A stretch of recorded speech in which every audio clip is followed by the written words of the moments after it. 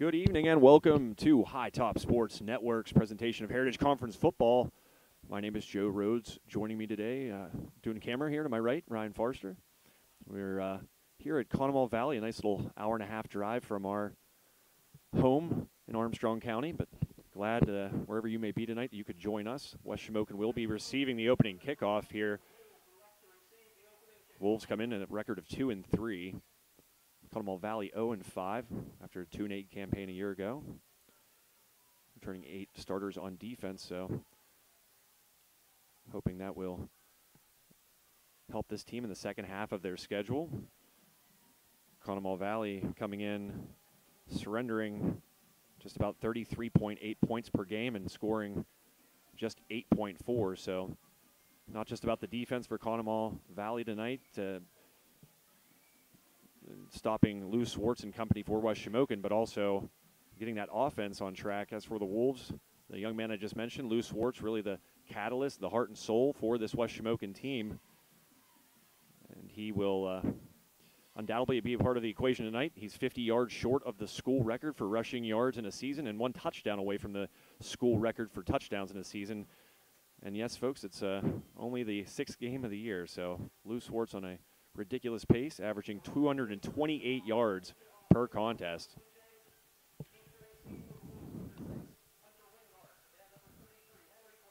Be Henry Clark and Linhart back deep for the Wolves, who will receive this opening kick.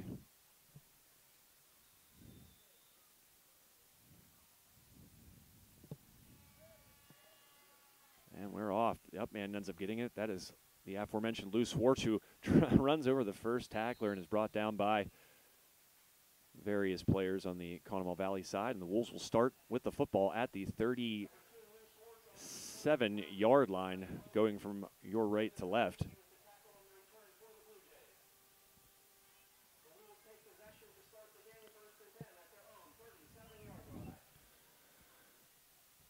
First and 10 for the Wolves, the opening possession of this game. Lou Swartz at quarterback, three receivers, two to his right. He's going to hand the ball off, running to the right for the Wolves there, and getting about a, I'll say about a yard, yard and a half gain. Henry Clark.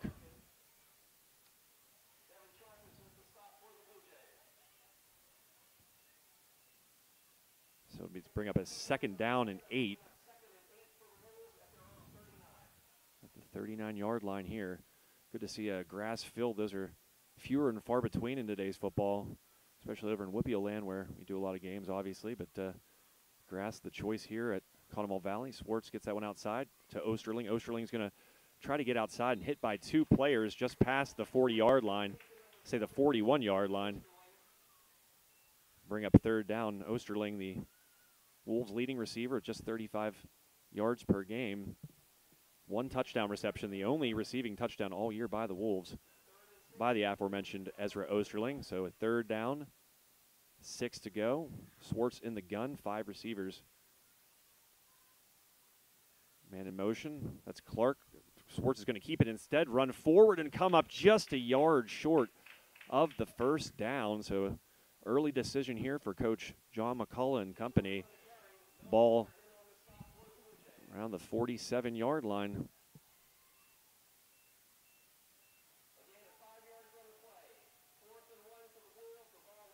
Fourth and one, the offense will stay on the field. Swartz not back deep, so they'll lead you to believe the Wolves will go for it. Same formation as a play ago. Swartz in the gun. Going to change the call. Offensive coordinator Phil Parks getting it into Swartz. He's going to run forward, put his head down, and get about, we'll say, better part of four yards there, and that will move the sticks for the Wolves and continue this opening offensive drive.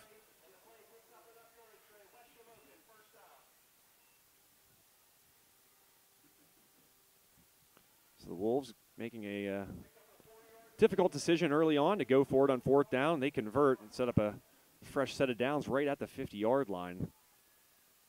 Swartz back in the gun once again. Clark to his right. Four receivers to his disposal. Clark's going to take the fake, and then that one stripped away. Swartz keeps it. ripped out. And that's going to go to Conemaugh Valley. A early turnover and un- a very unlikely uh, player to uh, turn that ball over, Lou Swartz. And Conemaugh Valley, though they allowed the Wolves the fresh set of downs there, they get it right back in the very next play, and they'll be in good uh, field position as well at their own 48 yard line. So.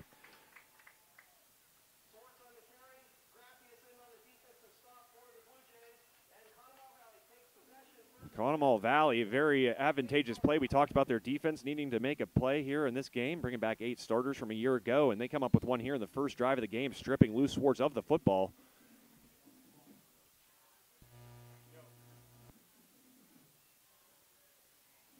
Rush forward, trying to see the ball handler pile of Wolves in on the play.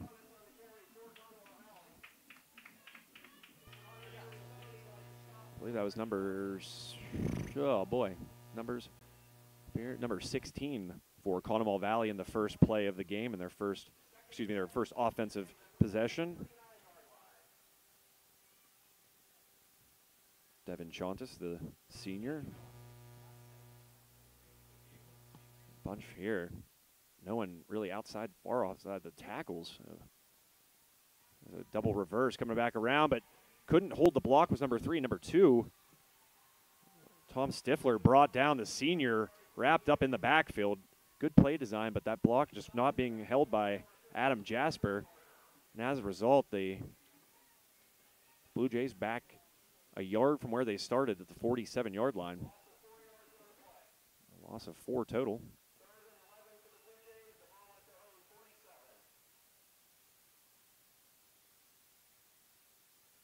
So a big third down here. Third and 11, 8.41 left in this first quarter. First time these two teams have matched up as Heritage Conference foes. Of course, Conemaugh Valley new to the conference, along with some other new faces here over last the last few years. Flag on the play. It's going to be offside against the Wolves. So, again, something uh, could prove costly if the Blue Jays are able to pick up the first down here make it a third and six instead. So mistakes. Uh, an issue here early on for West Shamokin, the fumble in the offensive drive uh, earlier, and now a offside call to make this a third down and six instead of third and 11. A bevy of blockers on the right side, but getting good penetration there was the, who else? Lou Swartz with the tackle right around the line of scrimmage. So bring up a fourth down and six for Conemaugh Valley. A loss of three, actually, so. Imagine the Blue Jays will punt here. Back deep is Adam Jasper. Back for the return is Henry Clark for West Shamokin. A good punt over the head of Clark. It's going to get a friendly bounce and go out of bounds at the two yard line. So, an excellent job there by Jasper to pin the Wolves deep on their what will be their second offensive possession of this game, which they'll begin here in a moment. We're going to take a quick break. We'll be right back on High Top Sports Network. Steffi's Country Catering prepares home-style made-from-scratch dishes that will have you convinced mom made it. Whatever the occasion, Steffi's Country Catering will have you coming back for every event year-round. Find us on Facebook to place an order or to see our Sunday specials, or call 724 54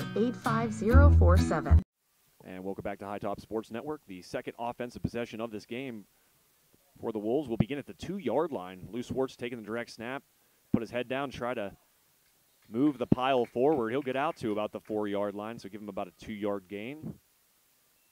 As mentioned, Lou is, uh, came into the game 50 yards short of setting the school record for most yards in a game. Or, excuse me, game. That'd be amazing. Uh, in a season, excuse me. One touchdown away from setting the school mark for touchdowns in a season as well.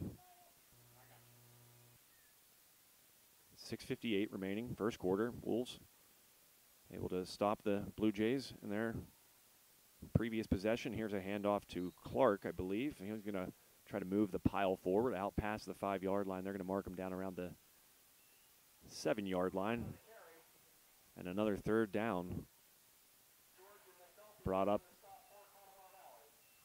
We'll make it third and five. Third and six, third and five, splitting hairs.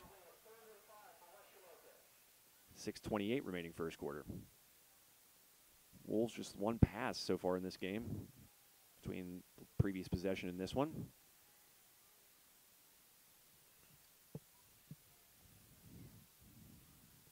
Schwartz fakes the handoff. He's going to move forward. He's going to run past the 35, past the 45, and or 35, excuse me, wrapped up there at around the 39 yard line.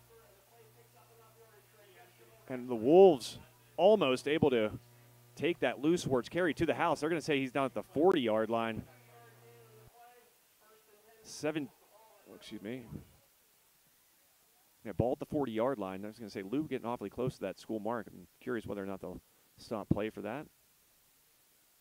At least toss that ball out of play. 5.51 left now. Sports surveys got Clark to his right. He's going to drop back. He is going to throw. He's going to throw across the field. He's got an open man in the middle of the field who is hit immediately, but not without a nice game by the Wolves, who are in Blue Jays territory at the 30 yard line. Lou Schwartz with a dime right there. And able to connect with Isaac Schreckengoss, the sophomore. So the second pass of the game so far for West Shamokin, a big gainer. Schwartz to Schreckengoss. And clock continues to roll here. 5.26 left in this first quarter. Wolves uh, begin this set of downs with a handoff to Clark, who looks like he's in a rugby pile, but he is uh, going to be marked about a yard past the line of scrimmage to bring up a second down and nine. I want to thank our sponsors today. You see our scoreboard sponsor, uh, one and only Schulteis Roofing. Thank you to Schulteis Roofing for their continued support of West Shamokin Athletics. Armstrong Indoor Athletics, Ryan Bowser State Farm, John F. Graff Insurance Agency, Schaefer's HVAC, Carson Boyer Funeral Home, of course, Brian Myers and the fine folks there. And, and Clark uh, able to break a tackle. Then he tried reversing field and was met again, that time number 44 for the Blue Jays. Meets uh, Clark brings him down. That's Tanner George, the junior.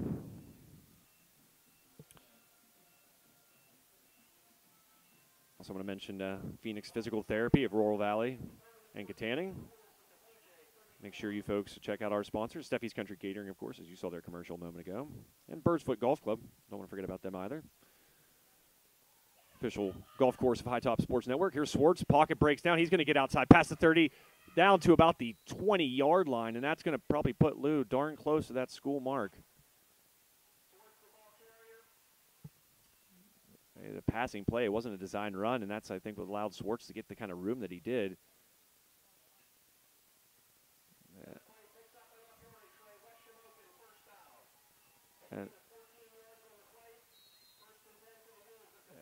And sort of a, uh, yep, that is going to be, I believe, the mark or set the mark for the Wolves. I heard a little bit of a cheer from the West Shamokin sideline there.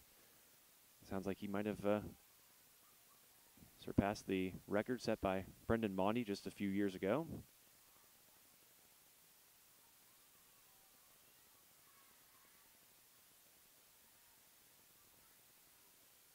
First and 10. Schwartz going to take this direct snap. Get outside, break a first tackle, shed a second. It's going to take a just a whole horde of Blue Jays to bring down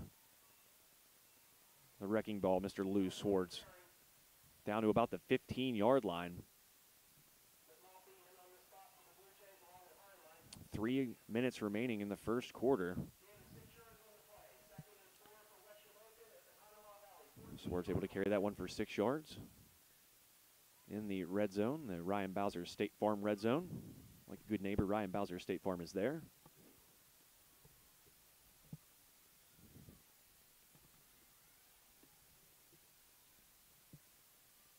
Swartz back in the gun. He's going to keep the handoff. Nice fake there to Clark. Shreds a tackler, and he's in.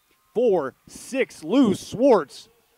Now the school record holder for touchdowns in a season, rushing touchdowns in a season.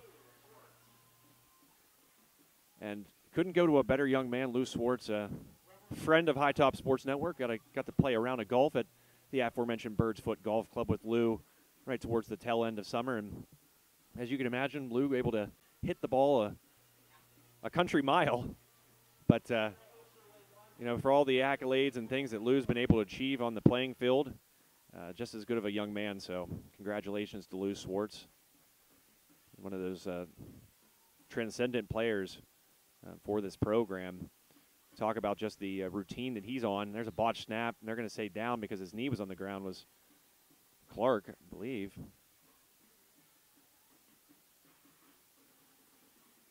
Not sure, but um, saying about Lou Swartz' workout routine, and that's really kind of one thing about him that um, makes him special: his ability to make those around him work harder just by his effort, and that's been quite evident.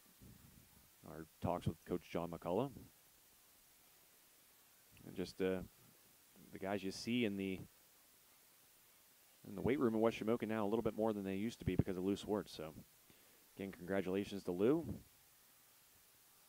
Osterling now on for the extra point. That kick is up and plenty good, and the Wolves take a seven to nothing lead here in quarter number one with 2:33 left on this Carson Boyer game night on High Top Sports Network. Thank you to the awesome folks at Carson Boyer Funeral Home and Monuments.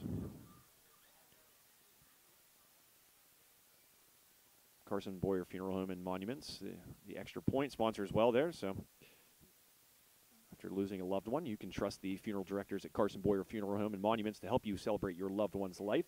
Their staff has experience planning a variety of funeral services and can assist you and your family in honoring your loved one no matter what uh, your personal preferences or budget or culture or religion. Carson Boyer Funeral Home and Monuments prides itself on serving the Rural Valley and surrounding Armstrong and Indiana County communities with compassion, dignity, and respect. So thank you again to Carson Boyer Funeral Home for their continued support here on High Top Sports Network.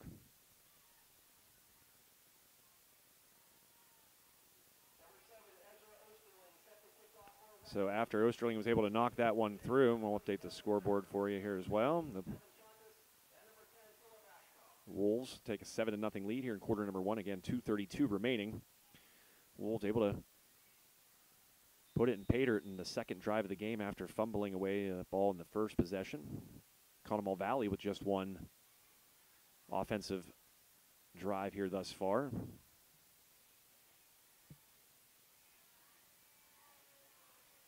Short kick, bouncing and take it in around the 10 yard line, going to his right. And getting some more room after a nice block was number 10, Philip Ashcom. And a flag for a late hit there. And again, a, another mistake by the Wolves that's going to probably cost them 15 here now. So the fumble and then the five yard penalty on that third down that could have cost the Wolves, but they were able to battle past that. Now a late hit, personal foul against West Shamokin. So that'll move it up 15 more yards for the Blue Jays, who will get pretty solid field position, all things considered.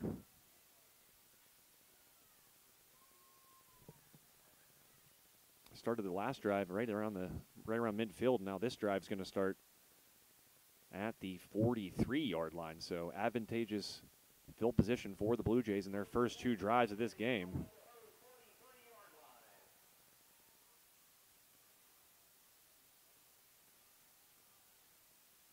Another tight formation here for the Blue Jays.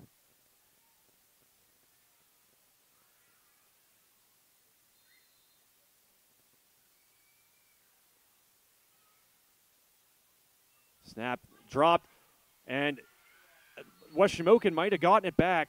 And they did indeed. A fumbled snap will give the Wolves now good offensive field position on their third drive of the game after a fumble recovery there. Just uh, a low snap there, a hard one to get for Devin Chontis. And as a result, the Wolves advantageously, not to use that word for the 15th time here today, uh, able to snatch that one up and do so in Blue Jays territory, the ball at the 40 yard line.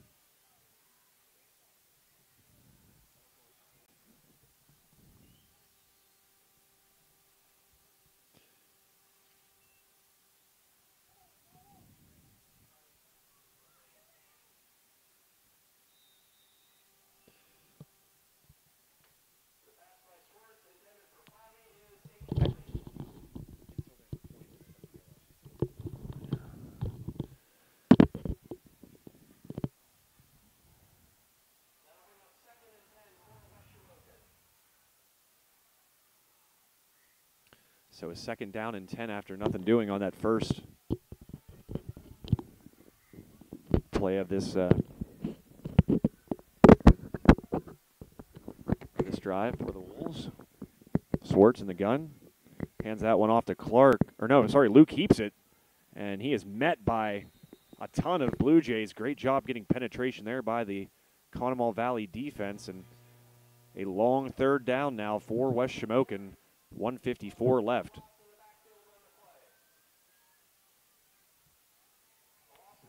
So Lou doing a great job of uh, hiding the football.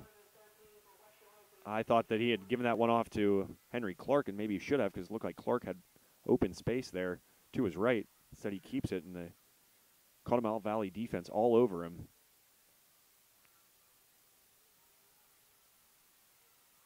Swartz in the gun, Three receivers to his left. He's going to drop back, look to throw, decide to run. Now he's going to throw. Open down the field is Osterling who grabs it, brings it in around the six yard line. Had to readjust. the run past the football, where Lou was able to get that to, and coming back for it was Ezra Osterling. And the Wolves now have first and goal at the six.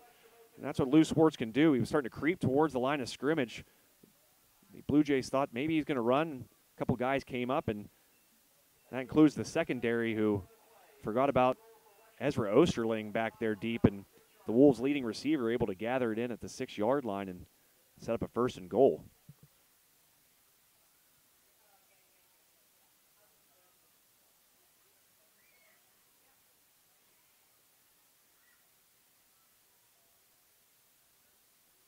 First down and goal for West Shamokin, looking to add on to their seven to nothing lead here. Handoff and diving forward.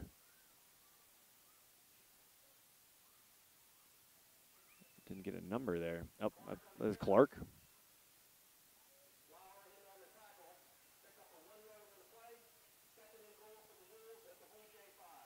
So just a short gain there. Under a minute to play here in the first quarter.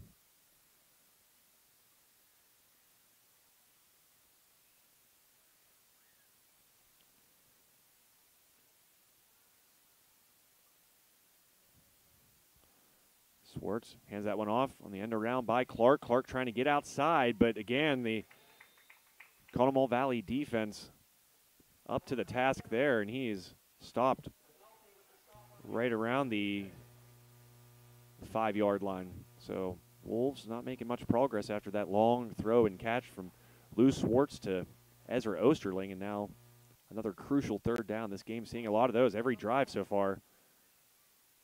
seen a third down.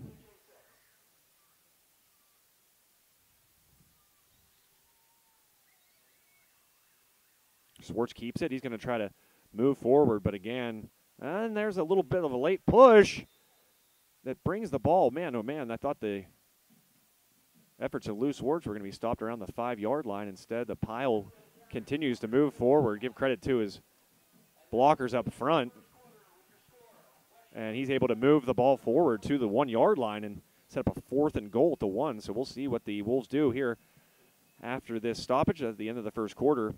Here, your score: West Shamokin seven, Conemaugh Valley nothing. The Wolves threatening here as we begin quarter number two. Hi everyone. Hi everybody. Hi everybody. Hi everyone. Hi everyone. Hi everyone. Hi everyone. Hey everyone. Hey everyone. Hi everyone. Hi, everyone. We're here tonight at the Richard G. Snyder YMCA. T-Bones. T-Bones. T-Bones. Guys, that's right. It's $5 Sushi Wednesday. Produce sale. Bananas. 45 cents a pound. Pork turkeys. You know why we're doing pork turkeys? We're doing a fundraiser. The meat keeps on rolling the Harry Sprinkle. You know what day it is today. It is Sushi Wednesday. $5 sushi rolls today. We're getting inspired. Come on. And help me. Hashtag save on me. And we're pumped up because we are less than 24 hours away from Camp Out for Community tomorrow. Like and share, like and share. So like and share, like and share. Help spread the word. Just make sure you like and share. We can't do what we do without you. Come and see us. We can't do what we do without you. Come and see us. We can't do what we do without you. Come and see us. Can't do what we do without you. Come and see us.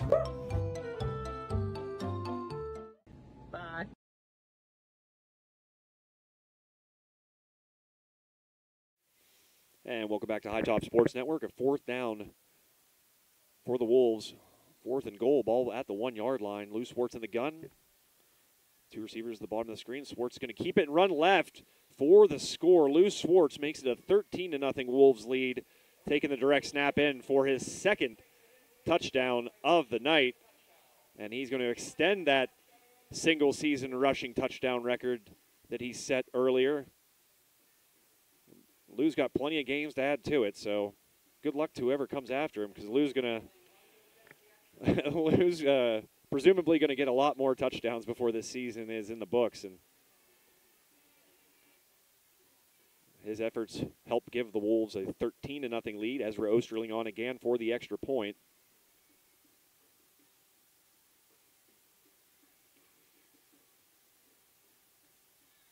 And that is good. So the Wolves now lead 14 to nothing. First play of the second quarter, a touchdown by Lou Swartz.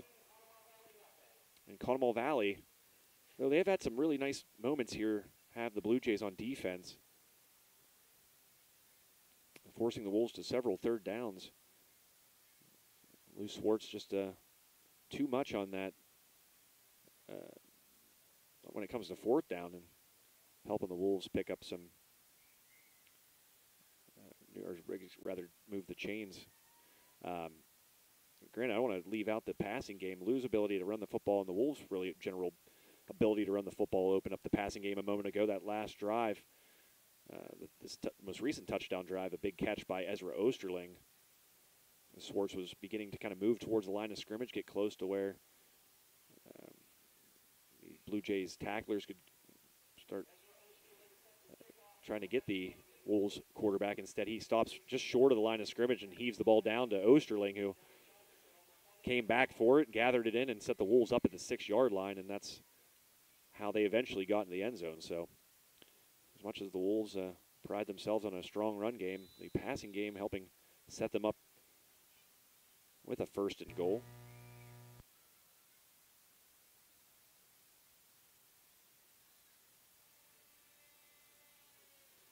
Another short kick brought in at the 25.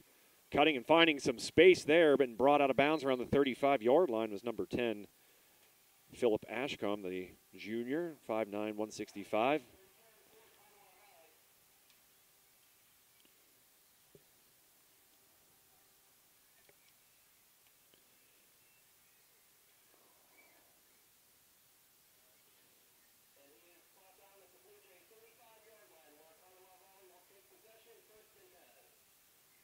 First and 10 for Conemaugh Valley. The Blue Jays who are averaging just a bit over eight points per game, looking to climb back into this one after the Wolves scored 14 unanswered so far. And a little end around, nice cut back, breaking a couple tackles, but then is met by saw Lou Swartz in there along with number 73 for West Shamokin.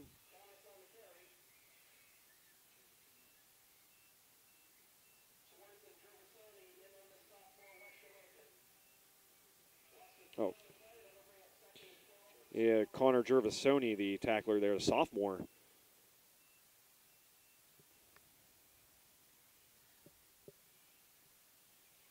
Trying to get the Trying to kind of pat my head and rub my tummy here.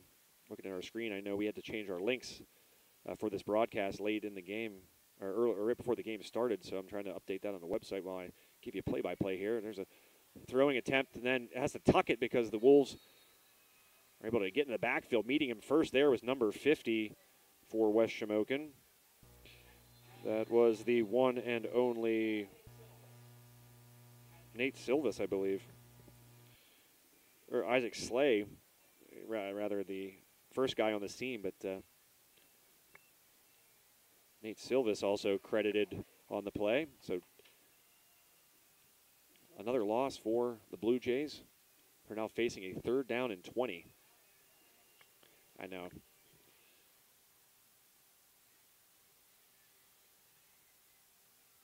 So third and a ways to go here for the Blue Jays. Moving from your right to left. Bunch formation once again. Wolves will bunch it themselves. They'll end around again and then brought down in the backfield again. Nothing doing there for Devin Chontis. As the Wolves stop him once again behind the line of scrimmage. Just the war in the trenches right now being won by West Shamokin. They're going to mark it as a three yard loss, and undoubtedly the Blue Jays will punt. Ball at the 21 yard line.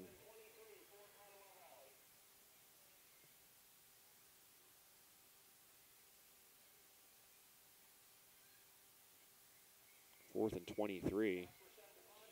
Jasper kicks this one away. Wobbler, it's going to go out right around the 30 yard line. So, Wolves offense that seems to be finding itself here early on gets some prime field position as the ball bounces sideways out of bounds at the 30 yard line. And that's where Swartz and company will take over with a 14 to nothing lead and 10.05 remaining here in quarter number one.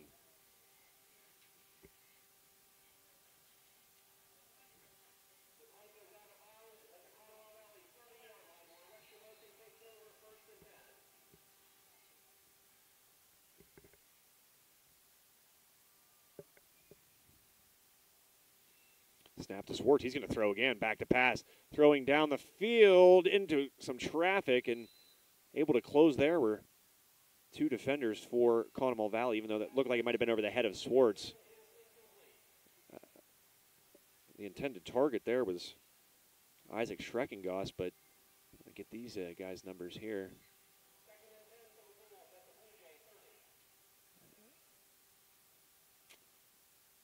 Hard numbers to see here the blue uniforms. Excuse me. Believe that's number two. I hope I'm right, but uh, Tom Stifler, one of the. Oh, I'm sorry, that's number three. Adam Jasper in the coverage there, helping in the incompletion. Now Clark in the very next play runs the ball down to the Bay 30 yard line, let's say, and they're going to say no gain. So third and 10 for West Shamokin, and this is where the Blue Jays have done an excellent job here thus far. It's just been fourth down. The Wolves finding ways to move the sticks.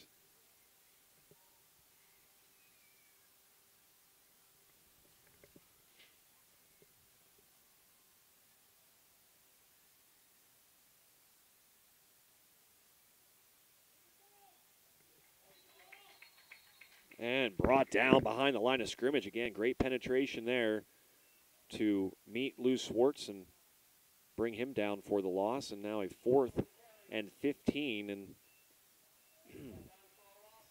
for as strong as their defense has been, West Shamokin that is, there doesn't surprise me. It looks like they're going to go for it here on fourth down. These uh, rare situations for really any team you'll see on a Friday night going for it on a fourth and 15. But since the field position is so good and the Wolves have been playing so well on defense, why not? And he's going to look for Osterling, brings it in for the touchdown. A beautiful pass and a great catch there by Ezra Osterling.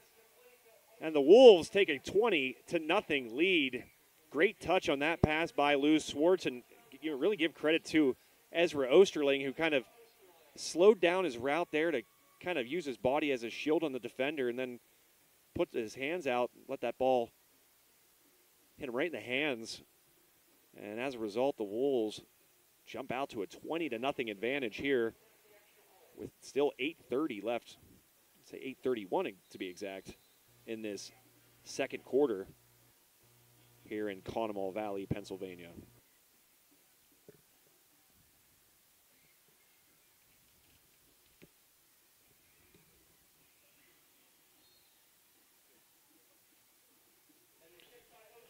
And the extra point by Osterling is good. So Ezra doing it all on that uh, particular drive there, bringing in the touchdown catch and putting the extra point through, and the Wolves take a 21 to nothing lead here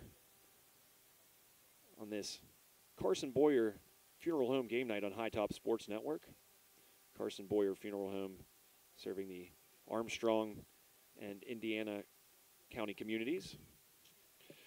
Also, want to thank another one of our, we like to call them our day one sponsors, Schultheis Roofing, the experts in commercial roofing in Western Pennsylvania. If you live really anywhere in Western Pennsylvania, Schultheis Roofing is your go-to. They have a large geographical area in which they serve so for your commercial roofing services. Make sure you give them a shout. Been in the commercial low sloped and slope roofing system business for over 23 years and as I said, evolved to become one of the most experienced roofing contractors in the entire state, not just this region. So make sure you give them a call. And if you just want to get a quote or get some more information, it doesn't hurt to find it out. Give them a call at 412 828 7192. And if you just want to do some research on your own, check them out online at schultheisroofing.com. That's S C H U L T H E I S roofing.com. Schultheis Roofing, the leader in commercial roofing. A little bit of a squib kick, breaking a tackle and getting some room up the sideline, and looks like into Wolves territory. Nice job there by Eric Korhut, breaking a tackle and making the most of that return. We're going to mark him right at the 50, it looks like. Maybe a, a shade into Wolves territory, we'll say, a half yard in there. So, again, the can't say this enough. The Blue Jays getting another possession with great field position. This one only second to the one they had, where I believe it began at the 48 yard line, so just a yard ahead. We'll see if they can do something with it.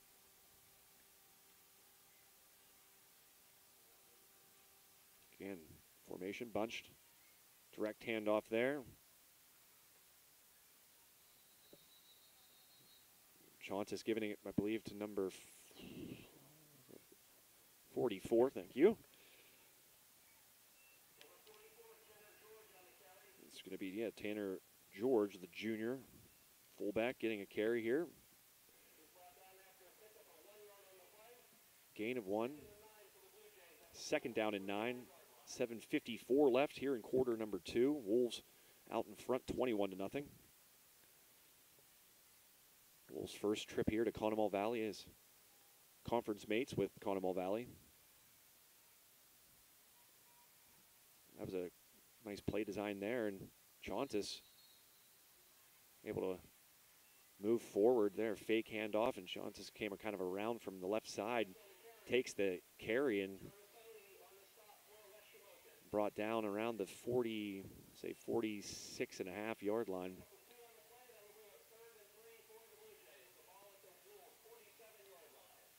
Third down and three for Conemaugh Valley here.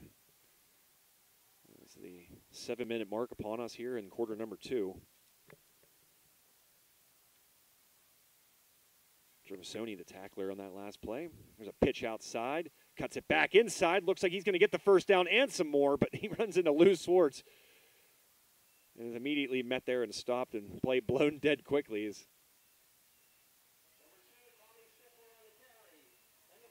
Tommy Stifler able to move the sticks, and the Blue Jays with a big first down here.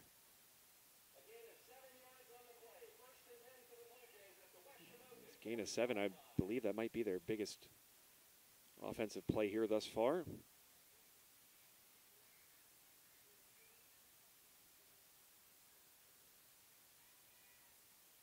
Nice cut back inside again, very similar to that play we saw earlier where uh, number 16, Devin Chontis, was able to take the play to the, from that left to right, the pitch, fake pitch out to the left, drew some Wolves to that side, and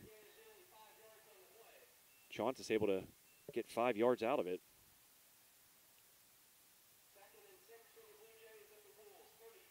So last two plays, some of the better better ones, excuse me, in terms of yardage for the Blue Jays thus far. Chontis gets get the excuse me gets the pitch outside, cuts it back inside, and he's going to be very close to a first down. It'll be the first time the Blue Jays had gotten a first down you know, prior to the prior to third or fourth down. Or say just short, so I spoke too soon. But uh, third and inches for Conemaugh Valley. Try to get you some Heritage Conference scores here in a moment.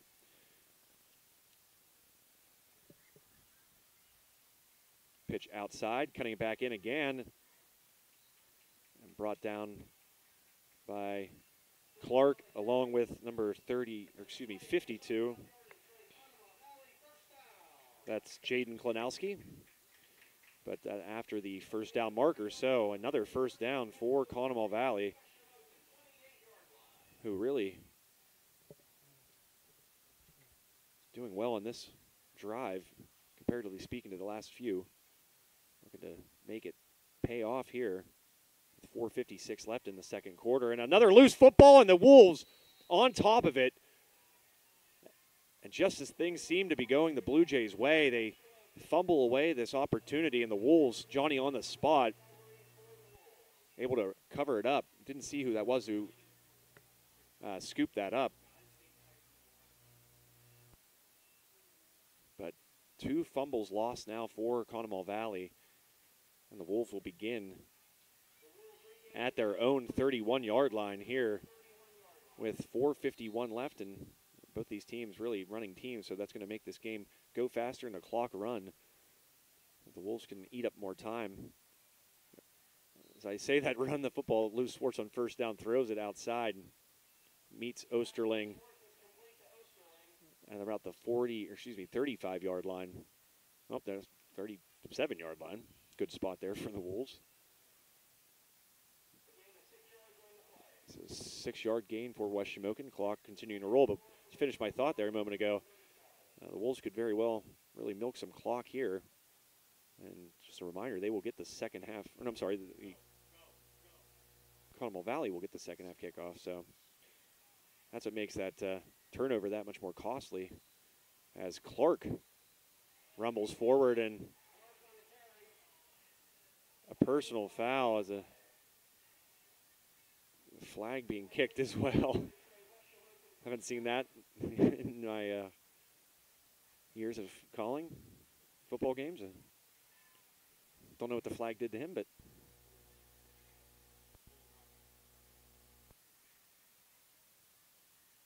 so that's going to move the presumably help the Wolves. Uh, they got the first down, but you could see 15 more. Maybe they'll have offsetting. Not sure. Didn't get to really see what had happened until the first flag came in.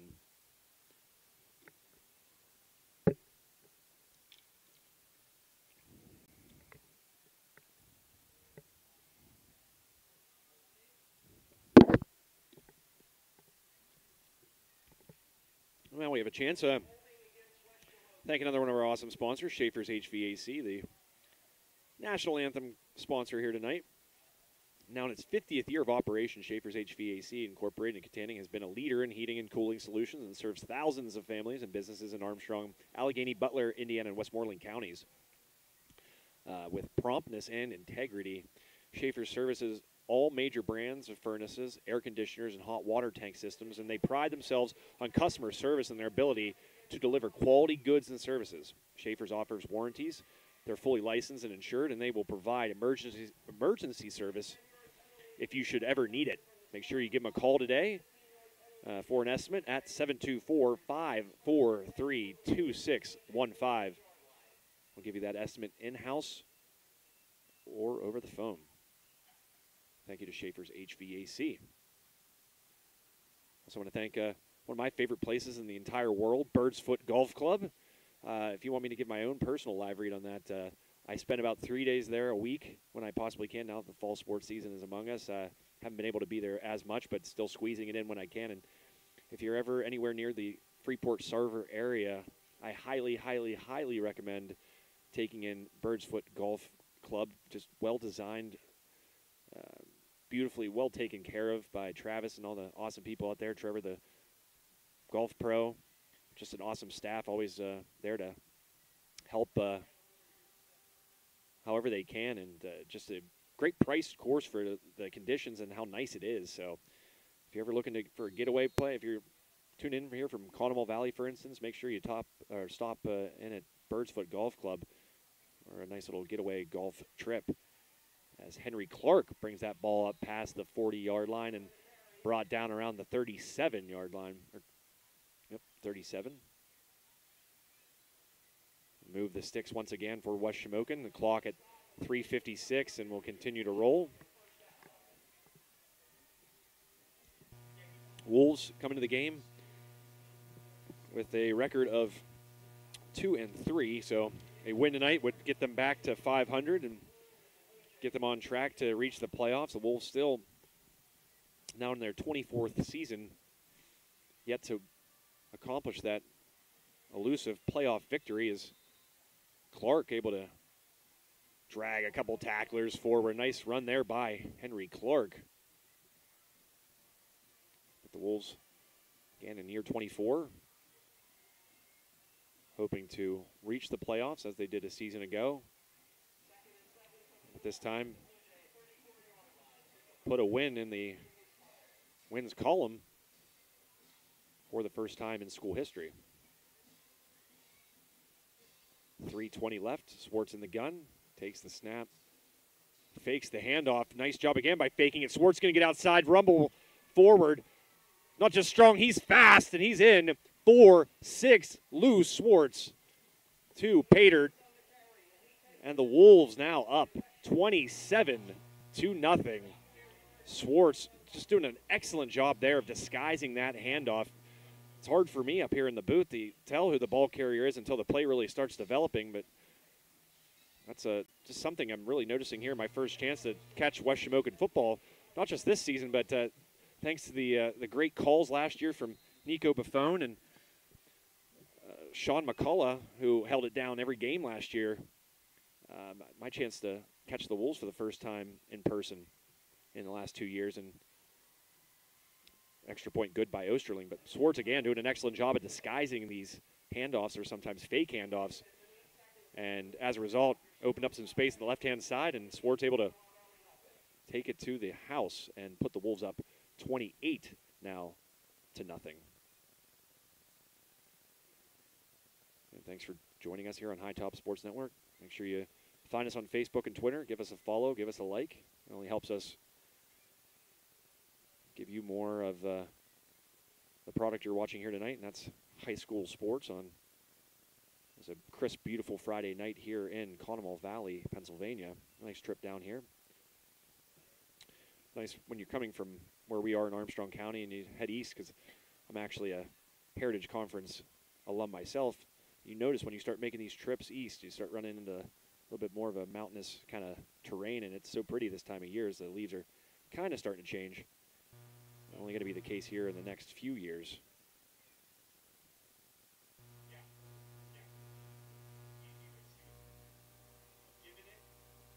So our broadcast uh, link on the website um, is not active at the moment. I've been trying to fix that, but I can't get logged in. But uh, what you could do, folks, is go to hightopsportsnetwork.com and you can hit broadcast search right at the top of your screen, and that'll help you find this game. Got three other games on the network here tonight. I'll give you some score updates here presented by Carson Boyer Funeral Home. The out of town scores brought to you by Brian Myers and the fine people there. This one out of bounds at the 35 36 yard line. But uh, the out of town scores for you end of one Northern Cambria 14, Cambria, or, oh, I'm sorry, uh, Conemaugh Township 3. So Northern Cambria 14, Conemaugh Township 3. Cambria Heights 13, Homer Center nothing. Homer actually just getting on the board with 5.03 left to make it 13 to 7. Uh, the end of one, you had a Penns Manor, United Valley tie at zero apiece. So those are just the early scores to come in here so far.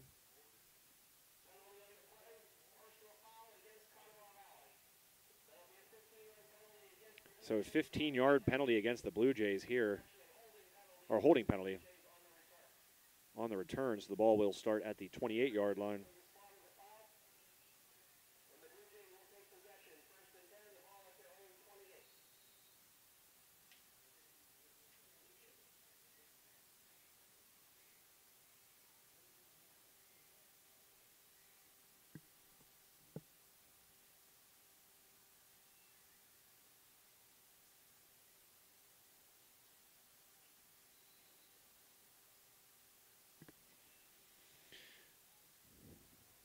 Ball.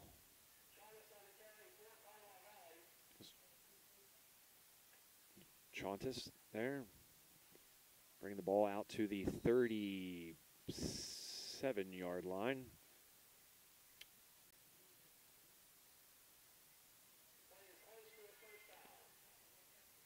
Very close to a first down. The head referee is going to tell the teams to back off. They're going to maybe do a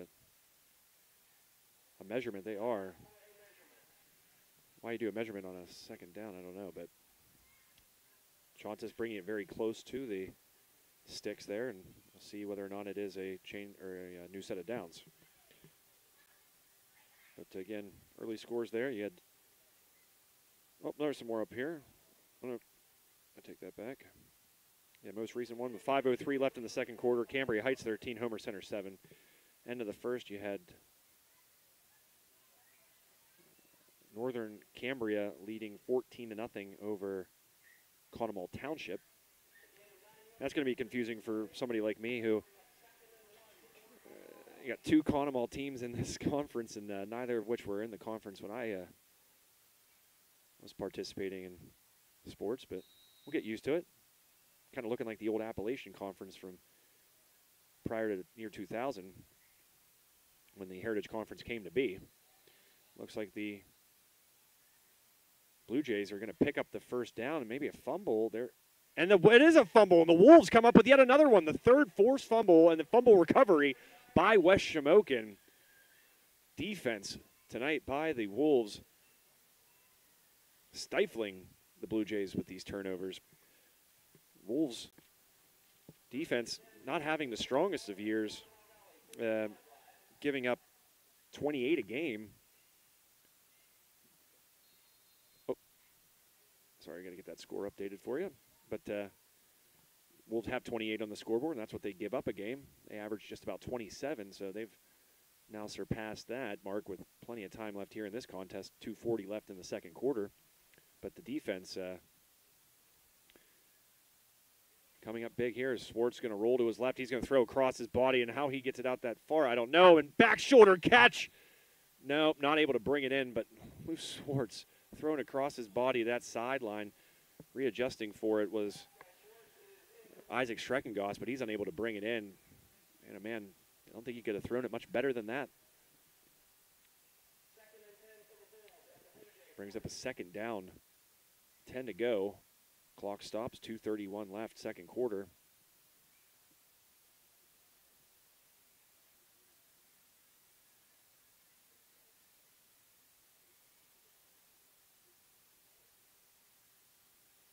Three receivers bunched to the bottom of your screen for Lou Swartz and company. and said Henry Clark will get the handoff, get past the line of scrimmage, and be brought down about a two yard, maybe three yard gain. Sets up third down and seven.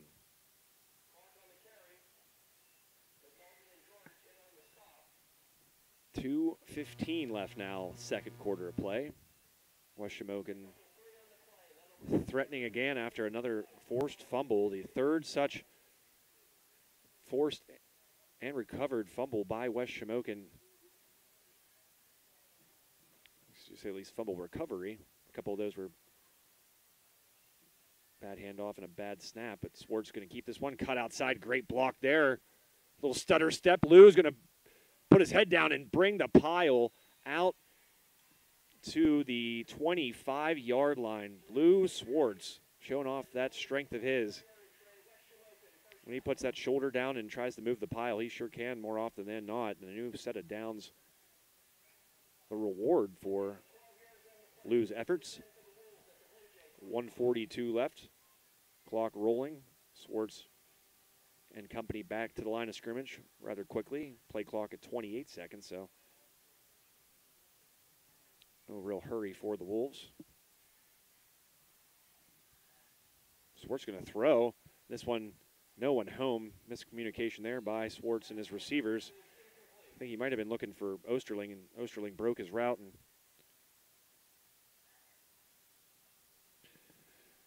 started heading towards the middle of the field.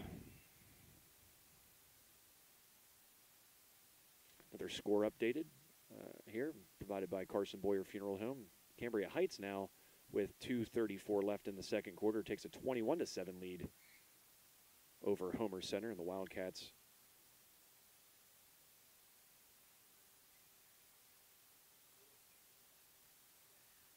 There's Clark breaks a couple tackles and then brought down though finally there by number 34 for Conemaugh Valley, Ethan McNulty. nice job there to wrap him up and bring him down after he was able to get outside. Still a gain of two, and now a third and eight, under a minute to play here in the second quarter. First half winding down quickly. Swartz gonna look to his left, gonna play breaking down. He's gonna run it. Swartz stutter step breaks, almost breaks that tackle, but way to tackle low there. I believe that was number 16, Devin Chontis. But a first down nonetheless for Lou Swartz. Play broke down and Wolves able to continue this drive. 37 seconds left and a timeout called by John McCullough's team. Give you a chance here now to thank another one of our awesome sponsors and folks. As I always say, when you're in the need of any of their, their services or goods, you seek them out first, and one of which is Steffi's Country Catering. Big uh, supporters of Terry and uh, his Sunday specials. Make sure you check out the Sunday specials. Look up Terry Steffi on Facebook. Uh, it'll say that it's uh, maybe portioned for six people. It really could feed 12. Uh, that's the great thing about Steffi's Country Catering. They will not uh, short you on quantity, and I can speak for the quality as well. They won't short you on that either. Terry and staff just excellent at what they do. They cater birthday parties, weddings, anniversaries, any event you could possibly think of. Steffi's Country Catering is your go-to. Make sure you tell Terry that High Top Sports Network sent you. Might be getting the Sunday special this Sunday, as a matter of fact. Uh, I've been talking about it. It's a High Top Sports Network headquarters. We got a nice little TV. I say little, but it's about 65 inches. Uh, we like to take in the game there and eat our Terry's and, and get back to work and get ready for the next uh, set of games and the next Friday nights. We do, of course, we do volleyball throughout the week as well. But Swartz threading the needle there. Just an absolute dart by Lou Swartz. Able to connect with Ezra Osterling for the touchdown. Osterling with his second reception touchdown of the contest, and the Wolves put it in again, make it a 34 to nothing advantage with 32 seconds left in this second quarter. And by land and by sea, the saying goes, but by air and by ground here in this one, uh, the Wolves doing it all. Second touchdown reception by Ezra Osterling, a terrific volleyball player for the Wolves.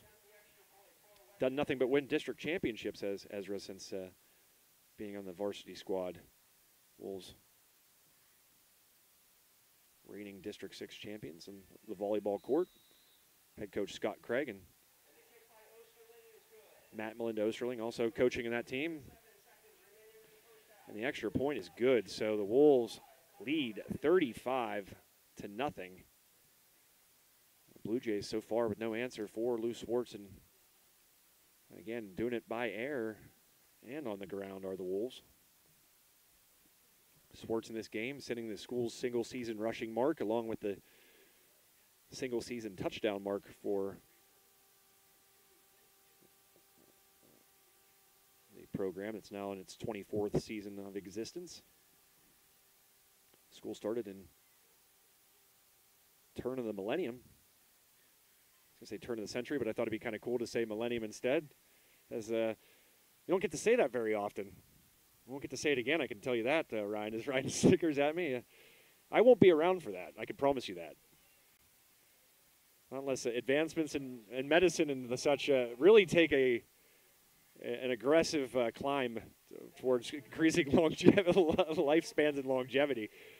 Uh, yep, yep. Just give me the old Ted Williams uh, treatment. Put me in a in a freezer vault. Thaw me out later. Never really understood that, but uh, that's a topic for another day. Actually, watched a documentary on Ted Williams, and that was a big part of it. And turns out it actually wasn't a part of his wishes. his son decided to do it on his own. So, anyways, with that uh, out of the way, Osterling will kick it off here with just 32 seconds left in the first half. That one hits the player in the front row and then brought in and breaking a couple tackles there was Eric Korhut, the sophomore. And a flag coming in late. Looks like it's going to go against Conemaugh Valley. Ashton Wilson's going to be the one flagged here. Just a lot of flags. And I mentioned this game would be going quickly just because of the number of times that both of these teams like to run the football well. The one thing that's prevented that uh, clock from running at times has been these penalties by both teams.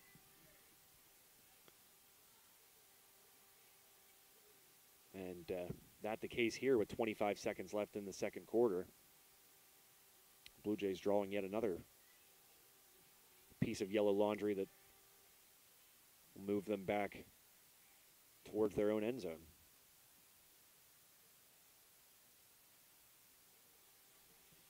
Also, too, uh, I have a chance. I haven't mentioned this yet. Uh, this broadcast is copyrighted by High Top Sports Network for the private use of our audience. Any use of this broadcast or any pictures, descriptions, or accounts of the game without expressed written consent of High Top Sports Network is prohibited. So that means if you put up clips on Facebook or Twitter, just give us a credit. That's all you got to do. You can use our highlights all day long. Just uh, holler at your holler at your boys and give us a photo credit or video credit. Whistle stops the play. It looks like maybe a timeout here by Conemaugh Valley. It is indeed. So we will take a timeout. Your score, West Shamokin 35, Conemaugh Valley nothing. We near the end of the second quarter here on High Top Sports Network.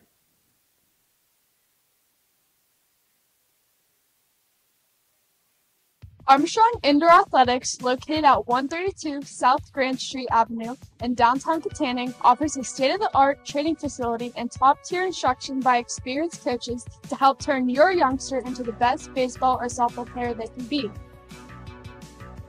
Batting cage and bullpen lane rentals are available for 30 to 60 minute sessions, and you can also sign your baseball or softball player up for private hitting, pitching. back to the action. Sorry about our cutting our friends at Armstrong Indoor Athletics short, but the play continues here after the timeout and back to the line of scrimmage was the ball carrier, but nothing more. Is number 21 taking the carry there for the Blue Jays. Elijah Dar, another senior on this Conemaugh Valley roster, and that will do it for the first half of play. West Shamokin out to a 35 to nothing lead over Conemaugh Valley here on this Carson Boyer game night on High Top Sports Network. My name again is Joe Rhodes. I'm going to send it down to the field as we can take in the sights and sounds of Friday nights with the presentation of both the Conemaugh Valley and West Shamokin bands here on High Top Sports. We'll be back for third quarter action We'll see them.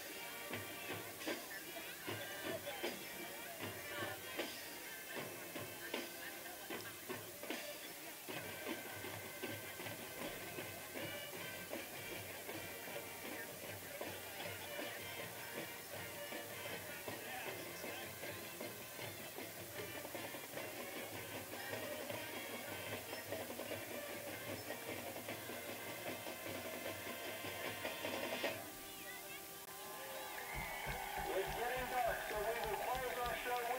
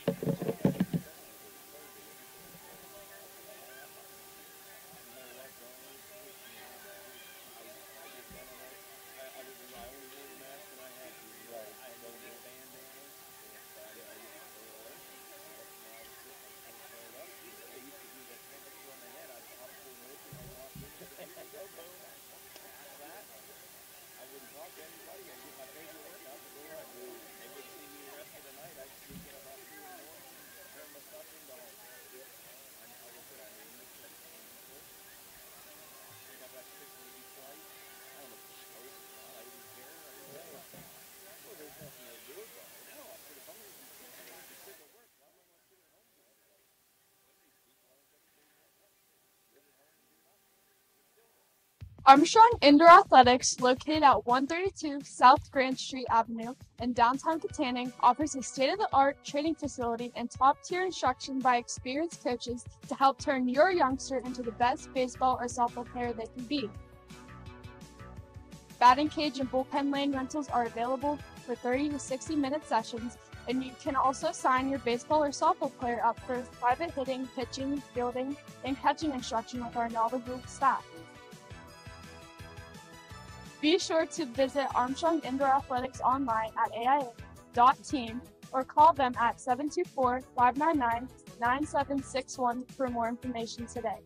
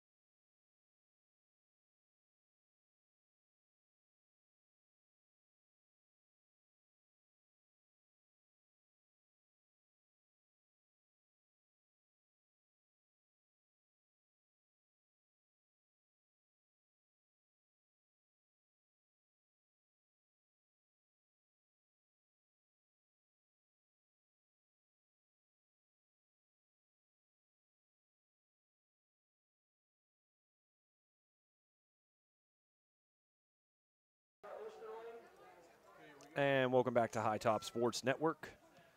Joe Rhodes here bringing you the action. Ryan Farster on camera. Wolves take a 35 to nothing lead into this second half. Two receiving touchdowns for Ezra Osterling, a part of that equation. Ezra with 90 receiving yards to his name. Lou Swartz, 134 rushing yards on 15 carries, 120 in the air for Lou. Those are your first half numbers here on your favorite sports network. That is a shoe as its logo, High Top Sports Network. I think we're the only one. Can't think of any others, at least off the top of my head. So the Blue Jays will begin at the 35. Not bad field position once again for Conemaugh Valley. Looking to get the offense started again. Three turnovers in the first half. Fumbles, that is, by Conemaugh Valley. Going to begin here. Carry out to the right. A little pitch and stumbles forward, loses his footing, but a nice job there to find the hole for Devin Chontis. Called his name and number several times here so far tonight. Six yard gain there by Chontis and bring up a second and four. Quickly just give you some first half numbers, uh, or excuse me, uh, first half scores. I guess around the area scores presented by Carson Boyer Funeral Home. Halftime, Penns or United Valley seven, Penns Manor nothing. Carry here, pile keeps moving, and brought down about a yard short of the first down stick, so bring up a third and one.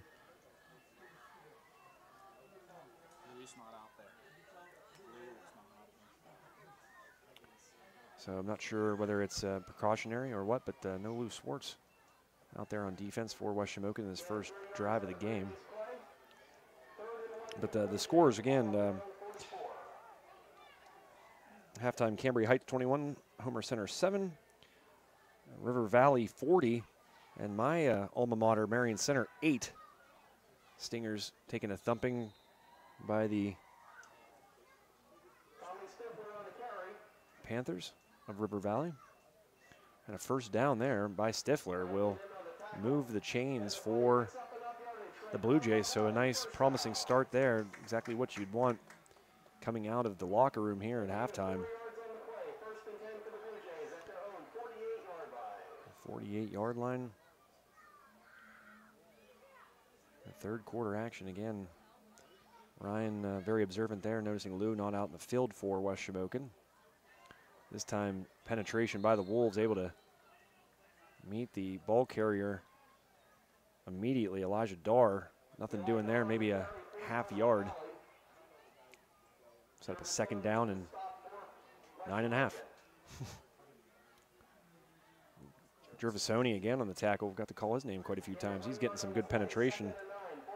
Is the sophomore listed 6'2", 295 pounds. Connor Gervasoni.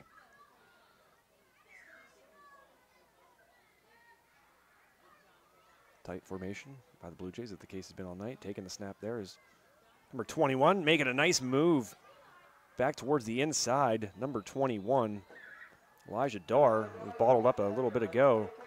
Breaking loose there. Big carry there. Probably the biggest gainer of the night for the Blue Jays. A fresh set of downs.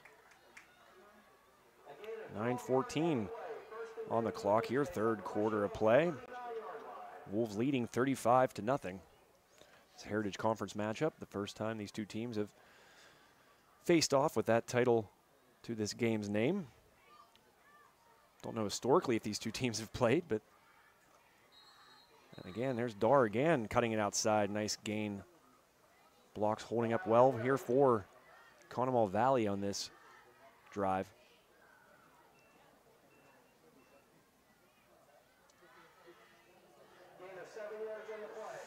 Seven yards gained on that play. Second and three, 8.33 left.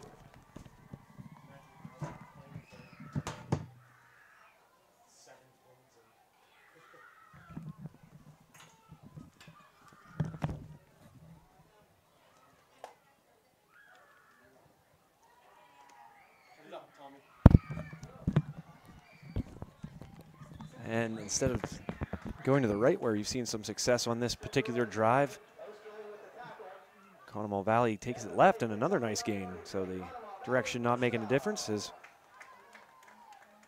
Tom Stifler getting into the act there and setting uh, the Blue Jays up with another first and 10. Seven yard gain. Ball at the 40, excuse me, no, I'm sorry, the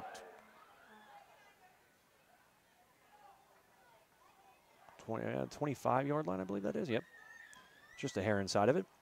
744 on the clock.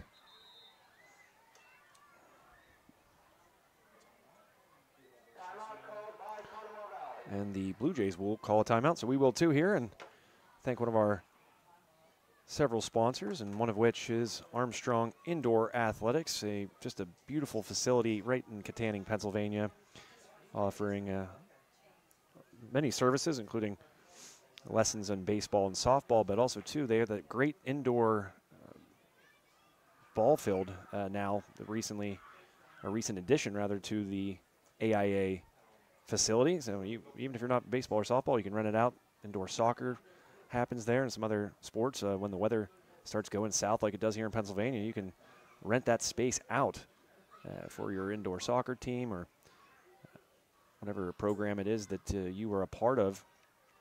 And of course, uh, Coach Keith Schaefer, uh, Coach Pete Harmon, offering instructions, pitching, hitting. Those that know much about Pete Harmon. He was the hitting coach for the Armstrong girls softball team. It made it back to back state championships and then the state semifinals this most recent year. So Pete knows a thing or two about swinging the sticks. And uh, you can get all of their great services at in Armstrong Indoor Athletics. Check them out online at aia.team. No .com necessary in their domain. It's a aia.team. We'll take you to their website, or just give them a call at 724 599 9761 located right there, 138 South Grand Avenue in beautiful town of Kittanning. Or as the Native Americans called it, Katani. Another reverse as we saw earlier in the game. this one, similar result, nothing doing there. Brought down was Stifler at the about a yard behind the line of scrimmage. Seems to me that uh, those quick, kind of quick hitting handoffs are the ones that have gotten the Blue Jays the most success. Kind of not allowing the Wolves to get penetration. That one kind of longer to develop, and thus the Wolves getting penetration and able to wrap up Stifler behind the line of scrimmage. So second and 11, 6.57 left. And great penetration there by the Wolves and thrown to the ground there with the tackle, number 73. Yeah, who else? Connor Gervasoni having a big night on defenses, the big man. Another tackle, this one behind the line of scrimmage and going to make it a third and say about a third and 15, third and 14 for Conemaugh Valley, who trying to get on the scoreboard here. Being shut out right now, 35 to nothing by the visiting Wolves. Mentioned that Conemaugh Valley new to the Heritage Conference. Conemaugh Township new as well. Cambria Heights, a recent addition. Portage also on their maiden voyage as a conference mates with the, the usuals. And uh, cramp looks like for the down West Shamokin player.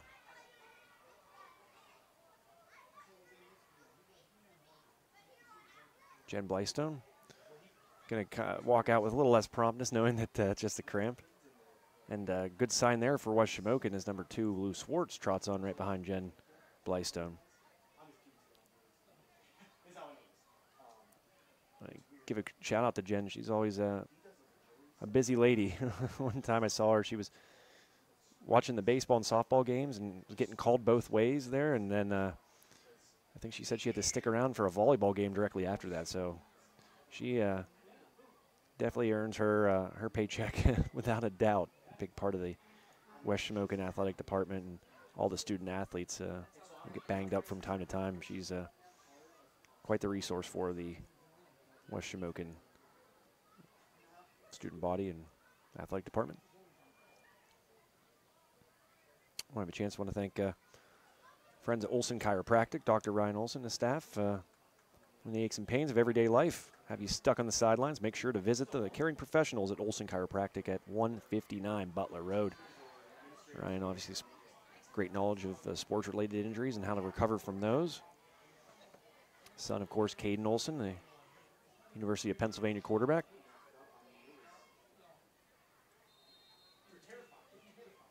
So back to play here, 158 left, or excuse me, 558 left in the third quarter, and whistles blow, flag on the field.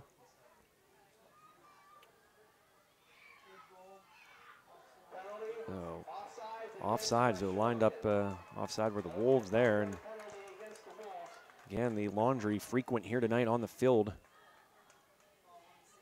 This beautiful grass field, as I mentioned uh, early on in the game. Somebody making the move to field turf. It's always great to catch a game on grass. The the way the game was played for the longest time, and now it just seems like these grass fields are fewer and fewer. Nice play there. Well developing, and he's going to get outside, and he is going to get in. Does Tom Stifler, the senior, 4 6. And that was a well designed play there by Conemaugh Valley. About three different guys in the backfield that seemed like they were involved in that play, a couple fakes, and then Stifler able to take it to the left side and no one was home for the Wolves, and Stifler takes advantage and puts six on the board for Conemaugh Valley with 5.31 left in the quarter number three. So a great start to this second half, despite the uh, score on your scoreboard. The Blue Jays leading in the second half, at least so far, six to nothing, trying to make it Uh, two point conversion possibly, and th a throw, the first of the game, and incomplete. Jasper trying to find number seven there in the far side of the end zone there, Eric Korhut, but no good, and the score will remain 35 to 6. West Shamokin leading Conemaugh Valley here on High Top Sports Network.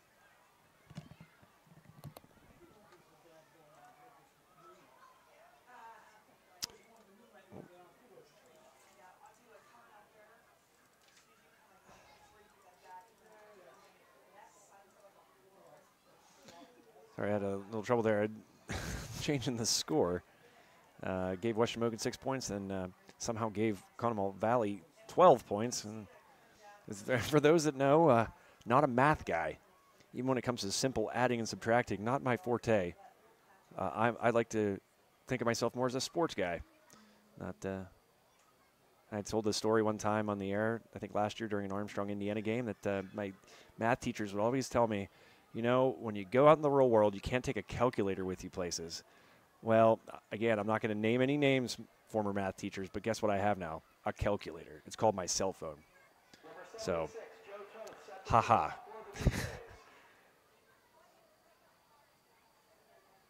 Your phone, uh, unless you start Googling and stuff, the calculator's right there, but uh, it's hard to find out who the Cy Young winner was in 1956, the American League.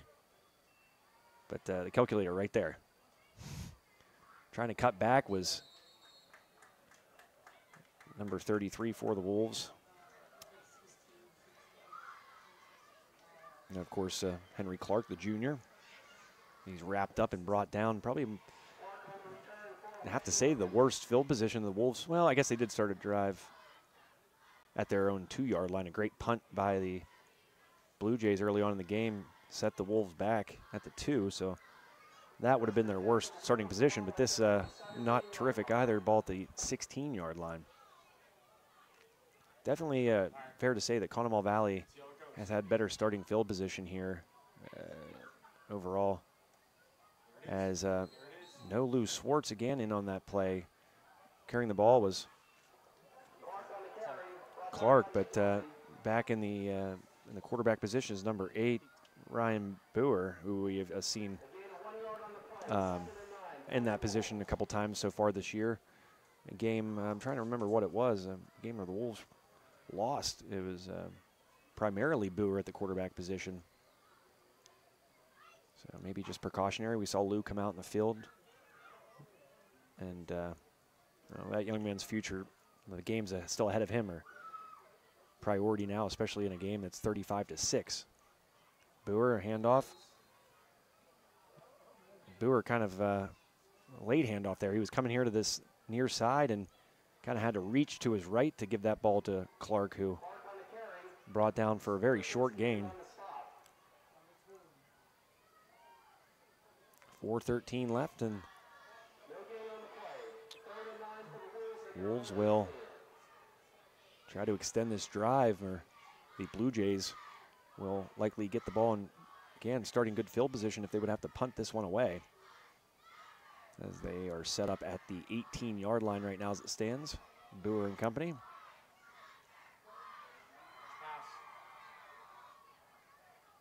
Boer gets the snap. He's going to roll out to his right, trying to throw on the run, and just not enough under that one to try to find the team's leading receiver, Ezra Osterling, and that one's going to fall short. And the Wolves will send the punting unit out there. And Oh, Lou, so Lou back in the game. So that just tells you right there that it's likely that uh,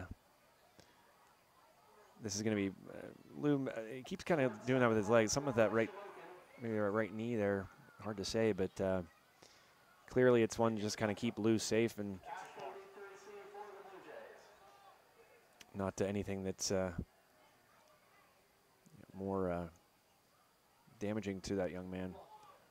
Lou gets that one away and gets it away well. Ball caught around the 46 yard line of the Blue Jays. Crossing midfield is the returner and wrapped up around the West Shamokin 49. And that's again where the Blue Jays will start and start with great field position once more.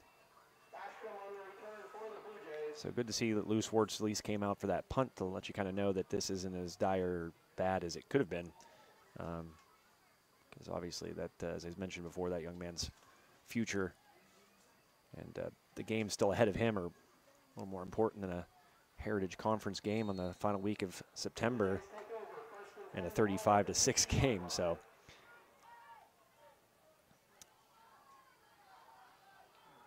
A very spread out design here for the Blue Jays, but a similar outcome as we saw in the first half, a handoff and then a flag, of course. After Chontis gets back to the line of scrimmage, we'll see what this flag is in regards to. Holding against the defense, so a rare defensive holding call We'll move the ball forward. Help the Blue Jays out, who managed no gain on that first carry of this drive. So a 10 yard penalty and fresh set of downs, I think we'll go with that. Yep. Talk about the, some of the more underrated folks at a game, the chain gang. Holler at those guys.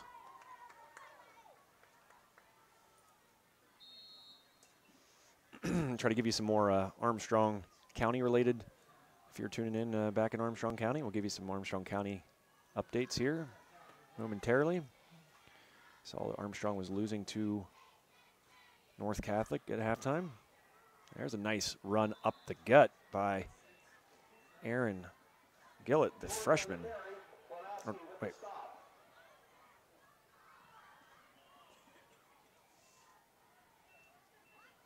I heard a different name over the PA, so maybe I got that wrong. I apologize.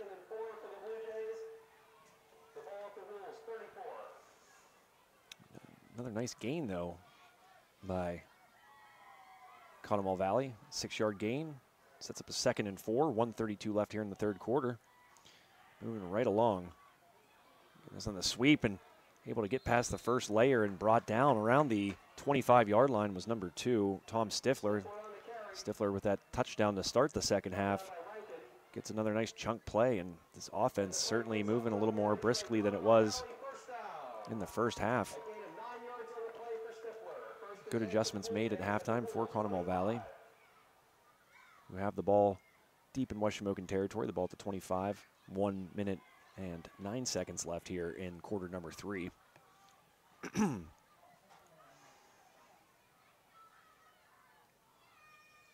to keep it, does Jasper. Makes a couple little moves and brought down for about a, say, three, three and a half, four yard gain. And the the yellow laundry that has been frequent here on this natural grass surface is back again. Face mask against West Shamokin, so a another sort of unnecessary penalty and unnecessary mistake by West Shamokin. And you know, so far those have not cost the Wolves, but you got to figure down this stretch run as the Wolves try to position themselves for playoff contention, those things will come back to bite you. And so far tonight, um, been just a couple miscues that have been sort of uncharacteristic for West Shamokin. Just the five-yard variety, though, so it sets up a second and three. 43 seconds left, third quarter. Another throw, and the pocket kind of collapsing there on Adam Jasper, and he's brought down. Excuse me.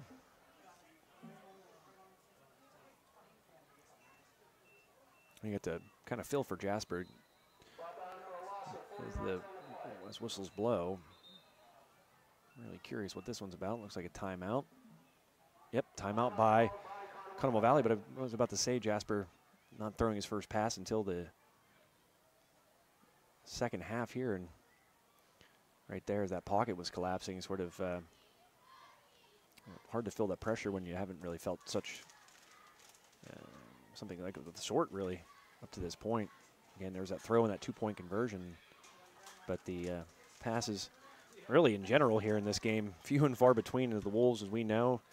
John McCullough, uh, Harry Beckwith disciple, Kittanning, the wing T, famously uh, part of the offense there at Kittanning for years and years, and Coach McCullough playing under Harry Beckwith brought it here to West Shamokin. And uh, really, you saw it for many, many years under Coach McCullough. And then when he had the luxury of having Bo Swartz and, of course, Lou Swartz, uh, the passing game certainly became more part of the equation then as those two were just a really dynamic uh, duo in the passing game. Remember the Wolves that season would have been Bo's senior year. They played Portage in the playoffs, and we were lucky enough to be at that game. And couple of the catches that Lou had were just uh, mind-boggling to say the least. Lou, some of the better hands of any of the athletes we cover, many sport really. We've seen him use them in basketball too. And uh, Brother Bo, a great arm, able to put him on him pretty pretty well. And fortunately for the Wolves that night, they fell to Portage and a couple late calls in that game didn't go the Wolves' way. Very questionable calls. And Wolves still without that uh, elusive playoff victory as a result. And that last play brought down short, fourth and five, and be the final play of the third quarter here at Conemaugh Valley as the Wolves still own a sizable lead, but cutting into it ever so slightly were the Blue Jays who put six on the board without letting the Wolves do much. Only one offensive drive for West in that third quarter. The first drive by Conemaugh Valley chewing up a lot of clock. And as a result, just 12 minutes remain in this one. Your score, West Shamokin 35, Conemaugh Valley 6 here on High Top Sports Network. I want to thank, uh, again, our scoreboard sponsor. You see him up there at the top of your screen, Schultheis Roofing, a leader in commercial roofing systems, be it uh, sloped or low sloped roof systems. They are your leader. Really, they travel all over Western PA. So if you're sitting somewhere and you're thinking, oh, they're probably just serving, you know, Armstrong County in that area. Nope, they are all over the map. They've been installing commercial low sloped and sloped roofing systems for over 23 years. And as I've said numerous times, have evolved into the best uh, roofing contractor in the state of Pennsylvania.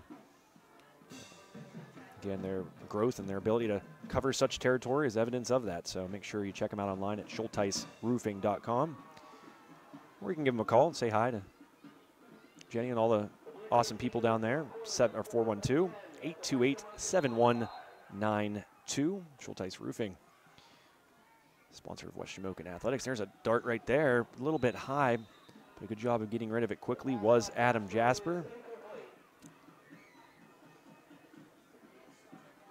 And uh, the ball will go back to West Shamokin now with the clock rolling here in quarter number four.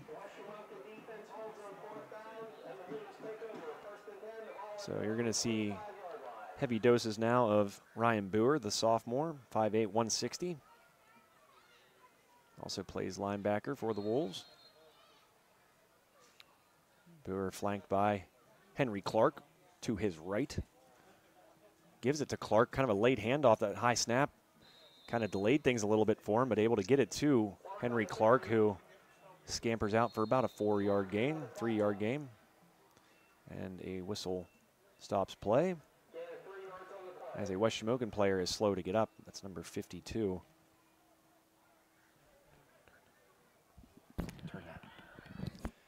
Number 52, that was for West Shamokin.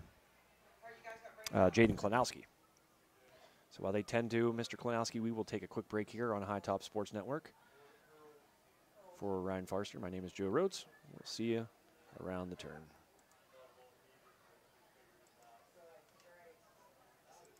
Steffi's Country Catering prepares home-style made-from-scratch dishes that will have you convinced mom made it. Whatever the occasion, Steffi's Country Catering will have you coming back for every event year-round. Find us on Facebook to place an order or to see our Sunday specials, or call 724 54 And welcome back to High Top Sports Network.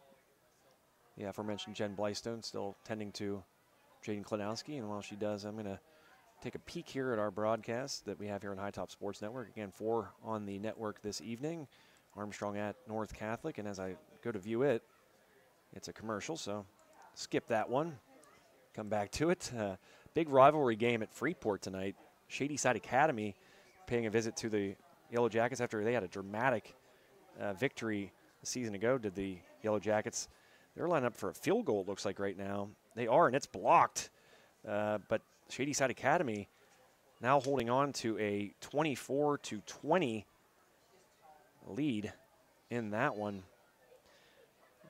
We also have Highlands at Mars, and that score a 35 to 13 advantage for the Fighting Planets of Mars under head coach Eric Kasperowicz, formerly of, of Pine Richland fame.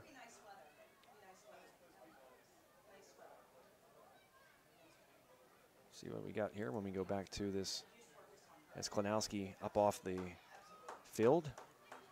Hopping on that one leg and just a cramp looks like, so that's good.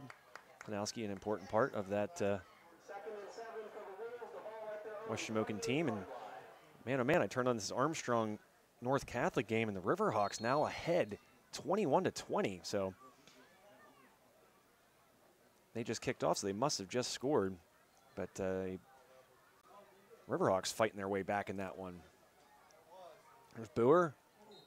Throws that one in bad position. Ezra Osterling was being led right into a oncoming defender. Goes off his hands, and luckily nothing know, dramatic hit was hit or took place there. And bring up a second down, or excuse me, third down and seven.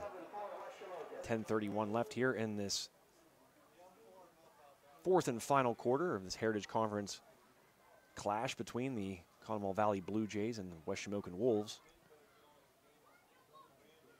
Joe Rhodes here, bringing your first West Shamokin game in over three seasons ago, or not this year so far. Last year, as I said, Nico Buffone and Sean McCullough driving the train and doing it quite well for you. And uh, it's my first opportunity to do a game since I guess 2021. Just a bit short there are the Wolves, so decisions, decisions here. Fourth down and one.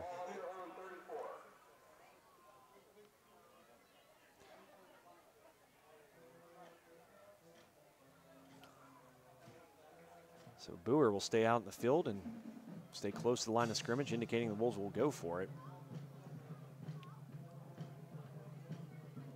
Hard count there. Blue Jays don't bite. Boer will take the snap. Henry Clark gets it up the gut, and he will plunge forward for the first down. So the sticks will move. But West Shamokin will continue this drive.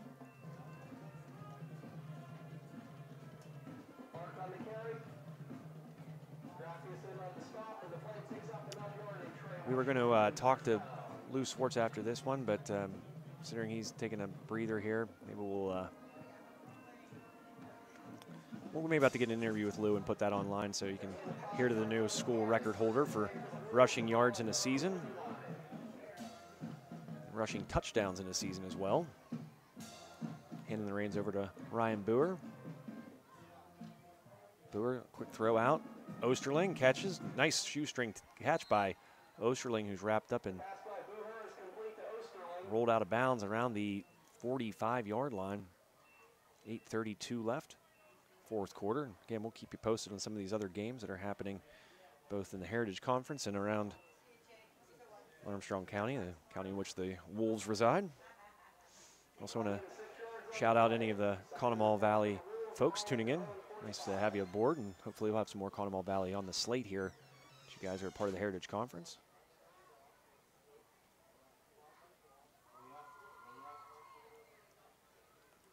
Takes the snap. Clark sheds a tackler, keeps it moving, and kind of runs into his own man there. But a first down, I think they're going to give Clark anyways. He ran into, uh, excuse me, Isaac Schreckengost, and, or no, Andrew Plavy. I keep saying that these numbers, the, the numbers on one side, and there's a second set of numbers. One is just to indicate the number on the ro- like the number of the jersey, and then one is the position on the roster. So just one through 30, for instance, on this one. But uh, I apologize. I've been calling uh, Andrew Plavy Isaac Schreckengost. Need to forget about this one column completely. so a first down, 10 to go, 7.18 left on the clock. Ryan Boer running the show right now for West Shamokin. Gives the handoff to Henry Clark, who's going to drive forward and get about a gain of four. Set up a second down and six and a timeout called. Officials timeout. A injured player for Conemaugh Valley, or excuse me, West Shamokin.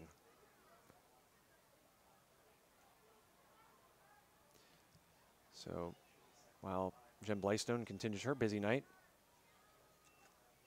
we are going to thank another one of our wonderful sponsors here on High Top Sports Network. We'll be right back.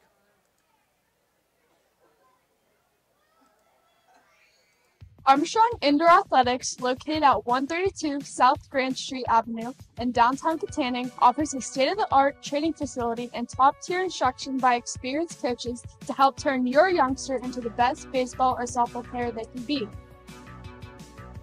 Batting cage and bullpen lane rentals are available for 30 to 60 minute sessions, and you can also sign your baseball or softball player up for private hitting, pitching, fielding, and catching instruction with our knowledgeable staff. Be sure to visit Armstrong Indoor Athletics online at aia.team or call them at 724-599-9761 for more information today. So the injured player was Connor Gervasoni, but he luckily makes it off under his own power, so he looked to be okay. Maybe just another cramp and another whistle. Timeout by West Shamokin, and John McCullough does not look happy to have to use that one. But the Wolves burn one anyways. 6.42 left. And mentioned both these teams predicated on the run game. And that would lead you to believe this game would move along quickly. But the number of flags and stoppages really uh, not allowing it to unfold like that.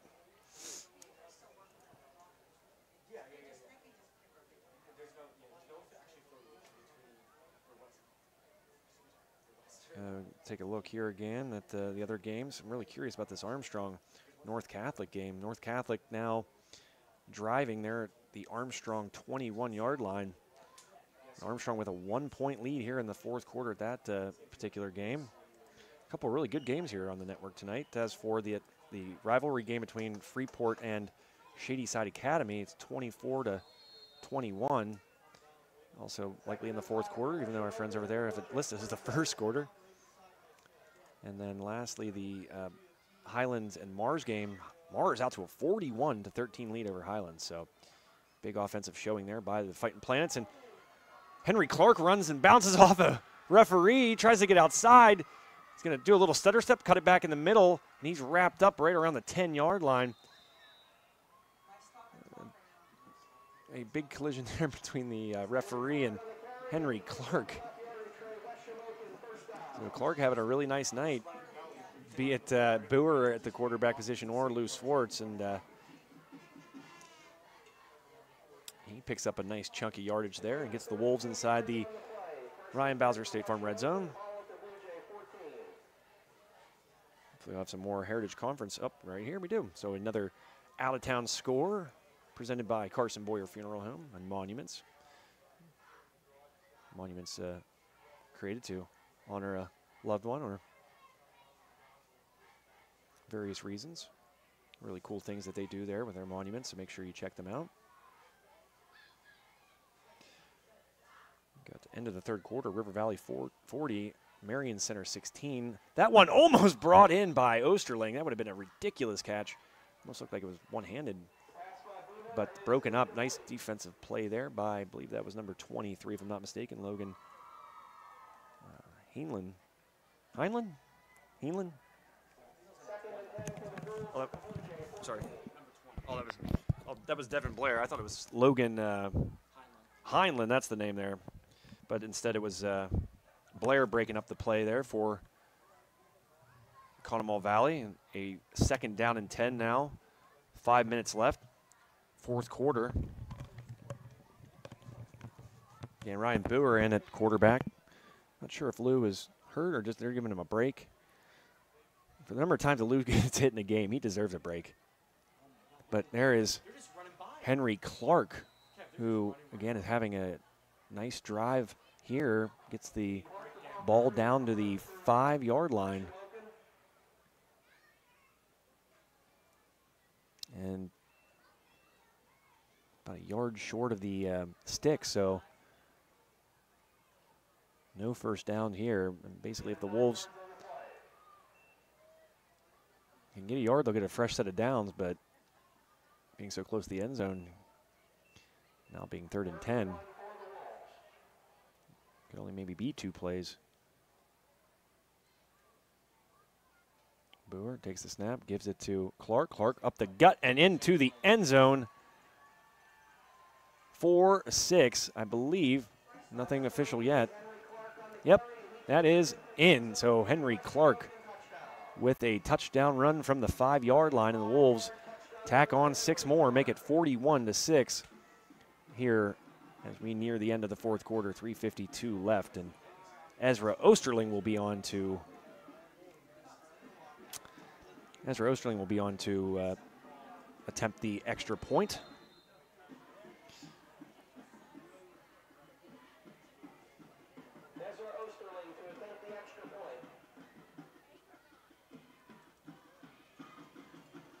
So the Wolves offense still doing a swell job as Boer leads the touchdown drive instead of Lou Swartz, and as Osterling puts it through the uprights and makes it a 42 to 6 West Shamokin lead here in quarter number four. Mentioned the out of town scores presented by Carson Boyer Funeral Home. Thank you to Carson Boyer Funeral Home, Armstrong County Commissioner Brian Myers and the fine folks there help you during your time in need. And at a time like such, you need uh, caring professionals and people that know what they're doing and do it the right way. And that's certainly how things are conducted at Carson Boyer Funeral Home and Monuments.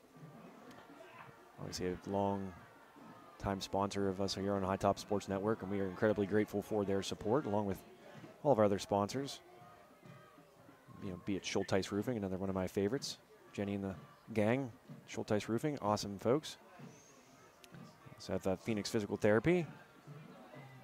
And Dr. Brian over there at uh, the Rural Valley location, a longtime supporter of High Top.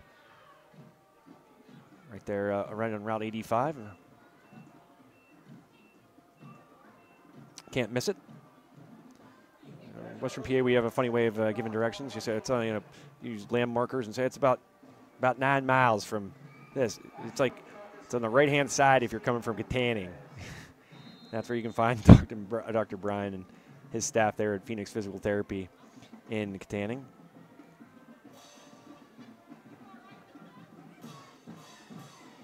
Little squib kick again by Osterling, and this one's going to go out of bounds. So flags once more out on the field. But uh, again, I want to thank uh, Phoenix Physical, Physical Therapy in Rural Valley. Life's all about motion, so orthopedic injuries are just a part of life. Phoenix Physical Therapy in Rural Valley and Kittanning will help you recover, recharge, and rise to new heights after an injury by creating a program focused on you. Your life should be pain-free and filled with activities you love. So, with the help of Dr. Bryan and the staff there at Phoenix Physical Therapy, you can get there. You can schedule online, which is pretty slick, 24/7, or you can uh, give them a call. But uh, make sure you check them out at phoenixphysicaltherapy.com. We uh, also have, uh, again, Damon, uh, Dr. Damon at uh, the Kittanning location. Passing attempt now, and man oh man, some footwork there by number three, Adam Jasper. Turns that uh, play that looked broken into something. Gets about a gain of, mm, we'll say about six. Nice play there by Jasper. But uh, mentioning there before Jasper's scamper that um, we have the uh, location help sponsors our broadcast and Rural Valley, of course, and then the uh, Heights location jumping on board here over the last week. So, needless to say, uh, you need physical therapy and things of the sort. Uh, make sure you check out Phoenix Physical Therapy first. Pitch high, but brought in there and brought down about a yard short of the first down. Nice little quick pitch. It was high, but able to gather it in and scamper forward was Chontis.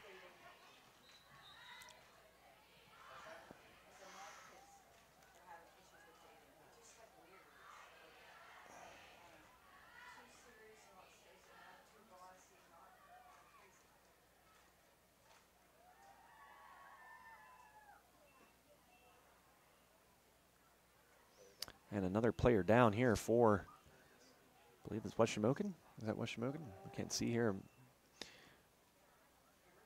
Is that Jen Blystone? That doesn't look like Jen down there. That's why I got confused. the always busy Jen Blystone.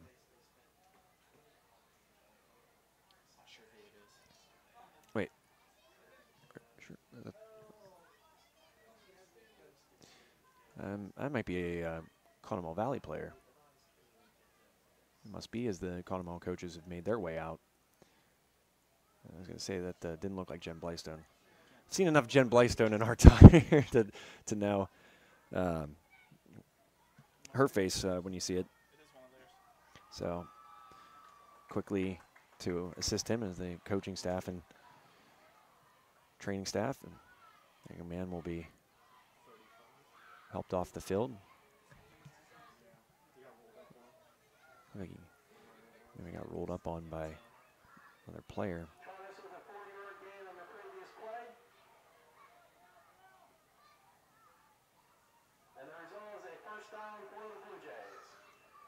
Make sure we um, get his number. It's hard to see as he's bent over, but um, best wishes to him. Hope he that's nothing too serious.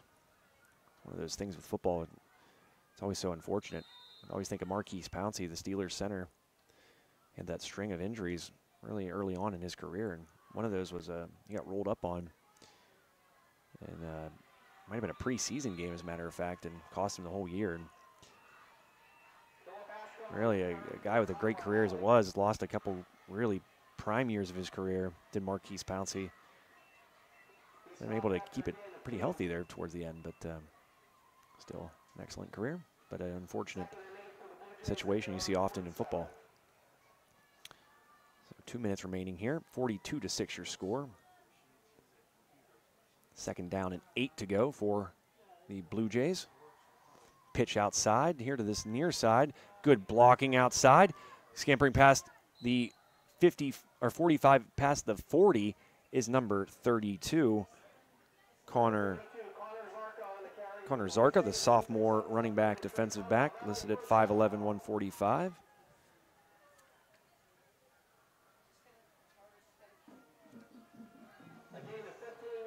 Ferndale product. Ball spotted at the 38, 143 left.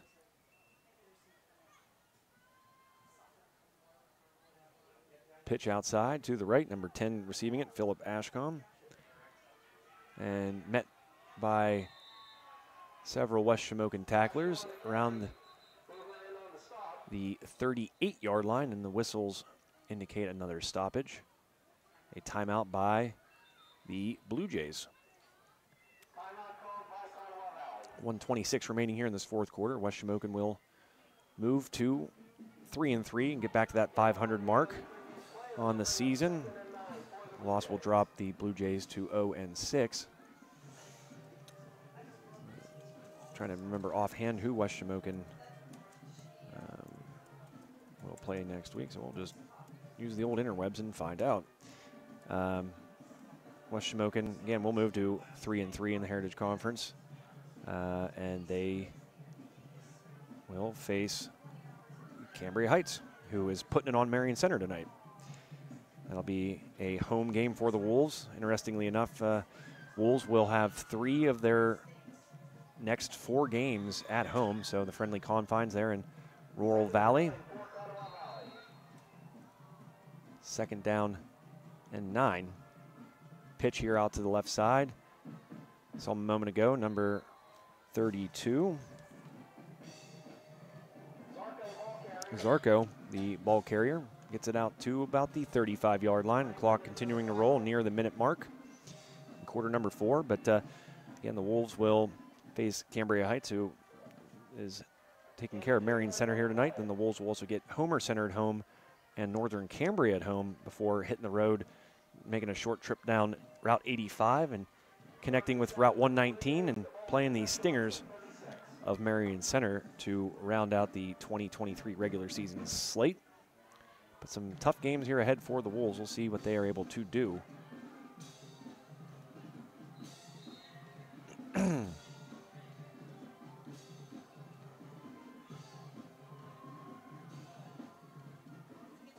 Twenty-six seconds left, and that might do it.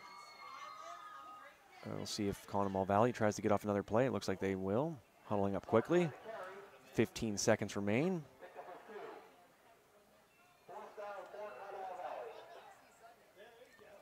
mentioned Conemaugh Valley dropping to 0 and 6. There's a pitch outside, lunging forward for the last play of the game to about the 25 yard line. And that will do it. Final score here West Shamokin 42, Conemaugh Valley 6 here on High Top Sports Network, presented by Carson Boyer Funeral Home and Monuments. The very front of that lineup for the West Shamokin, Lou Swartz. Great to see him healthy. I'm not sure if there was anything wrong, but uh, probably just preserving Lou because long season. Lou carries the ball a lot, throws it a lot, involved in pretty much everything this team does, offensively and defensively, and uh, want to keep that young man healthy in the event you uh, have a chance at that elusive playoff victory that we talked about earlier in this broadcast. Lou, um, just a tremendous player, and um, really fun to watch. That's that's for sure. A lot of these guys aren't just you know, there's good players, but then there's the good players that are fun to watch. And Lou Swartz, uh, number two for the Wolves, certainly that. Um, we mentioned there a second ago before that final play that Conemaugh Valley moves to 0 6 here in their Heritage Conference debut uh, against the Wolves. They've obviously played a couple games in the Heritage thus far, but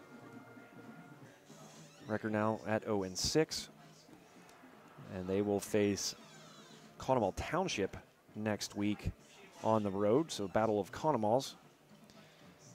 And they will then have another away game at River Valley, followed by Cambria Heights at home and then we'll take the drive to Homer City, Pennsylvania to play the Homer Center Wildcats to round out the season on 10-27. So West Shamokin again moves to 500, gets back on the winning track after a loss a week ago to River Valley. And they uh, a meat of the schedule ahead. Difficult games, as we mentioned, still on the schedule against Cambria Heights, Northern Cambria. Uh, that season finale against Marion Center, but right before that, a game against uh, oh Homer Center sprinkled in there as well, two weeks from tonight. So Wolves will have some work cut out for them, but uh, based on tonight's performance, a little momentum going into these final four games of the regular season for West Shamokin. See if I can quickly get you some out of town scores uh, here, presented by Carson Boyer Funeral Home and Monuments. Uh, the games here on our network, uh, there's a 21 to 20 score in that Armstrong North Catholic game still. We'll see if that, uh, that is live, so we'll wait and see what happens there. Uh, as for the Freeport Yellow Jackets against Shady Side Academy, they lead 28 24. So the Yellow Jackets able to uh, still a win there against their rival. Nope, nope, that's still going on. It's late in that one, so we'll see. Uh, the Mars Fighting Planets uh, will assume we're going to get a victory against Highlands. They lead 41 to 15 late in the fourth quarter there. And then the Wolves and the Blue Jays here, your final well, 35 to 6.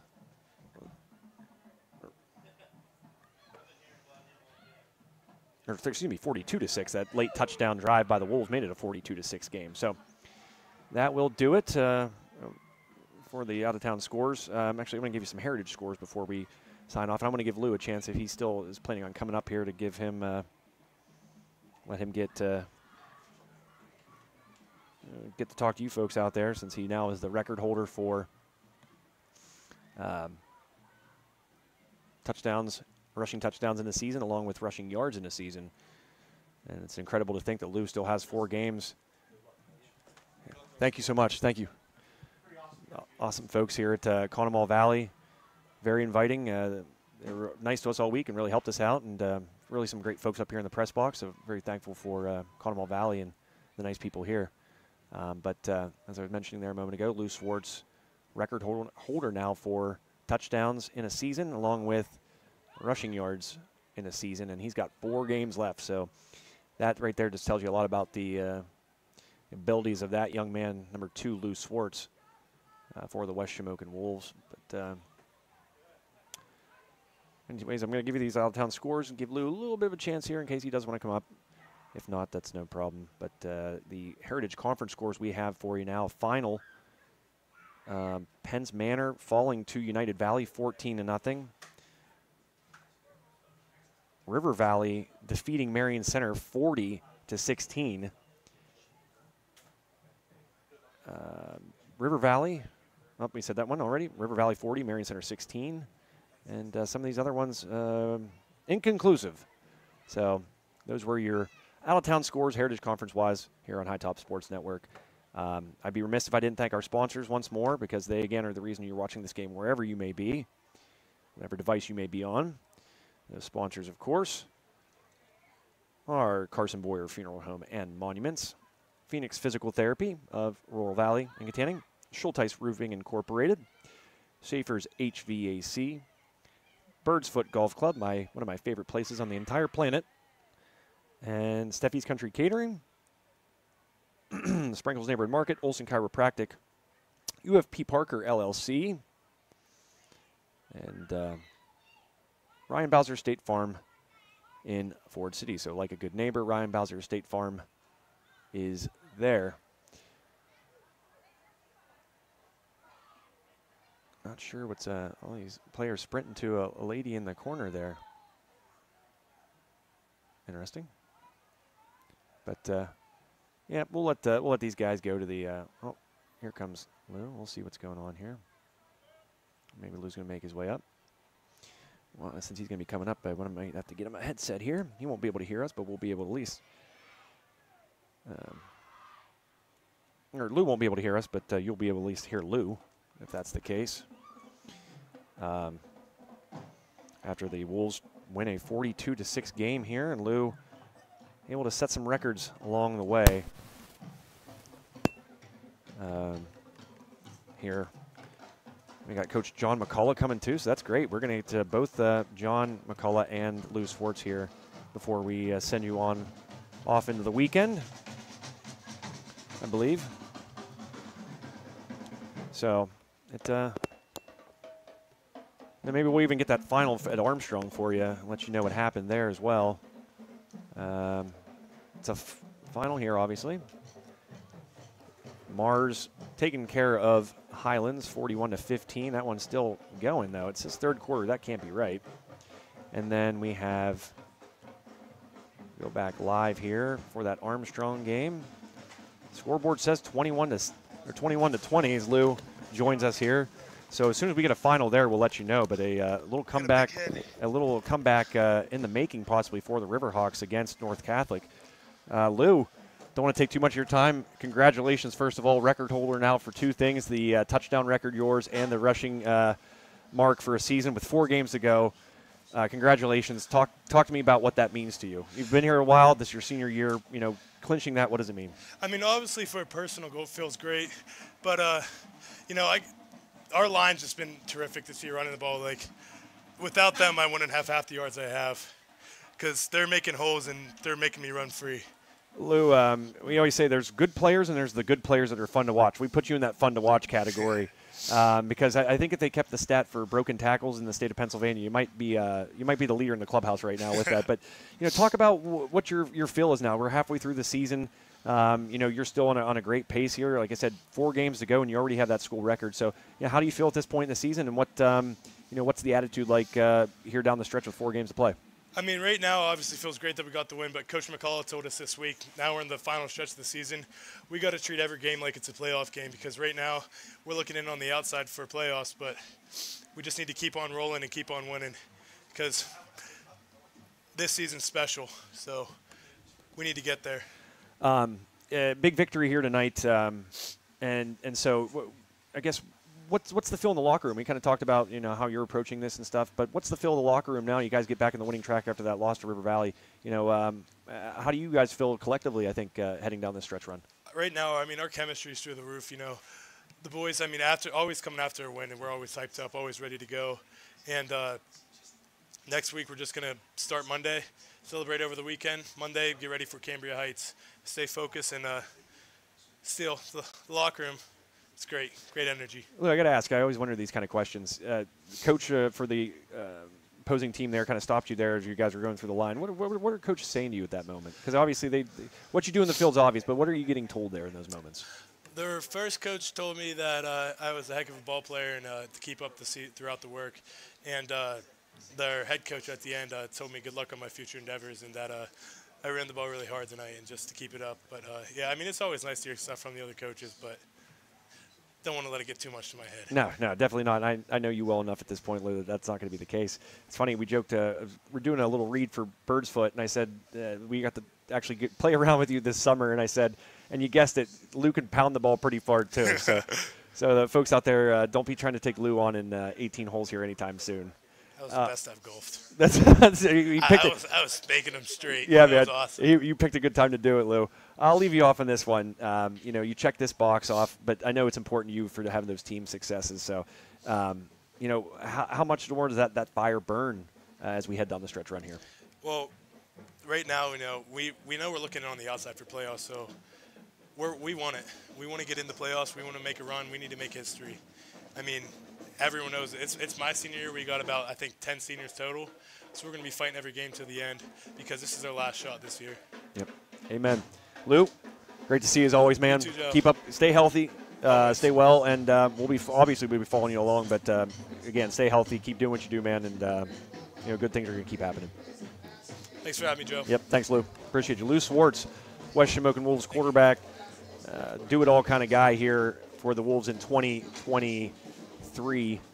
Uh, just another terrific night for Lou. Um, all around.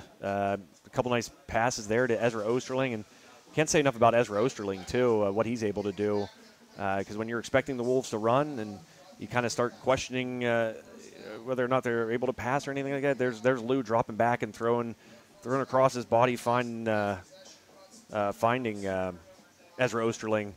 You saw that long touchdown catch, a couple long receptions, really in general for Ezra here tonight. Ezra had, I think, 90 yards receiving in the first half alone. So, you know, wonder if you get frustrated, or if a, a, receiver gets frustrated in, a, in an offense like this. But you know what? It, it, the, the, opportunities are less, but Ezra Osterling uh, makes the most of each of those opportunities, it seems. And whenever Lou Swartz puts the ball on Ezra like he did a couple times tonight, that touchdown catch was a perfect example uh, where Ezra just ran a great route, kind of held that uh, defender off a little bit just so he could get the space he needed to bring in that, that pass from Swartz. And as a result, the Wolves uh, put it in the end zone and, and uh, did so frequently here tonight, scoring 42 points and allowing just six. And mentioned the Wolves came into this game um, scoring about 26.2 a game and uh, allowing 28. So Wolves uh, doing what they needed to uh, to fend off a pesky uh, new team here in the Heritage Conference. A lot of new teams, as Coach uh, John McCullough. Uh, something. Yeah, you're not going to be able to hear me, Coach. Go ahead. And, oh, okay. Are you there? There. Popped off for a second. I don't know what happened there.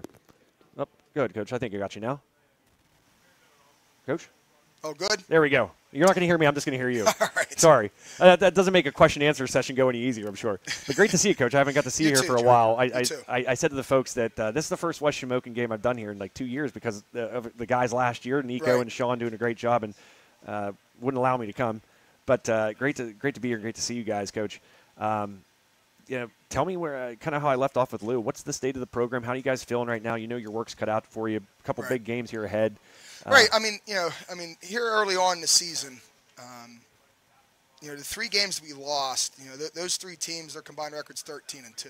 Wow. You know, we were, you know, extremely competitive, and you know, you know, a couple breaks here and there, we probably could have won, you know, you know, maybe two of those. So, you know, it's not like we were playing, you know, terrible. Um, but we knew we, there's a lot of things that we had to clean up, especially on the defensive side of the ball, and you know, ball security on offense. Um, you know, and tonight, you know, I think we established ourselves, and that, that was the goal that we that we had. We our attitude was we were going to be physical, um, you know, this week, and shut down their run and be able to uh, you know be balanced on offense. And um, you know, I think we achieved that goal here tonight. You know, I thought at the line of scrimmage, um, you know, we set the tone. Uh, you know, on the defensive side of the ball, I don't think they, they probably had, I think, one first down and probably negative yardage up until late there in the second quarter. Yeah. And then offensively, um, you know, we, we, we ran the ball extremely well. Um, and we made plays in the passing game tonight, which were key. You know, Ezra Osterling really stepped up. Uh, we had a fourth down, big, you know, big play uh, for a touchdown, and then he was able to get another one, you know, later in the half. So that was, um, you know, a nice step in the right direction, you know, from a pass game standpoint. Um, special teams, you know, our kick coverage has to be better than what it was tonight. Um, we can't allow them to, uh, you know, you know, setting up uh, possessions, you know, near midfield. So those are things that we have to work on and get better at, and we have to continue to get better in all, you know, all three phases. Yeah. You know, don't be satisfied with, you know, with what it was tonight.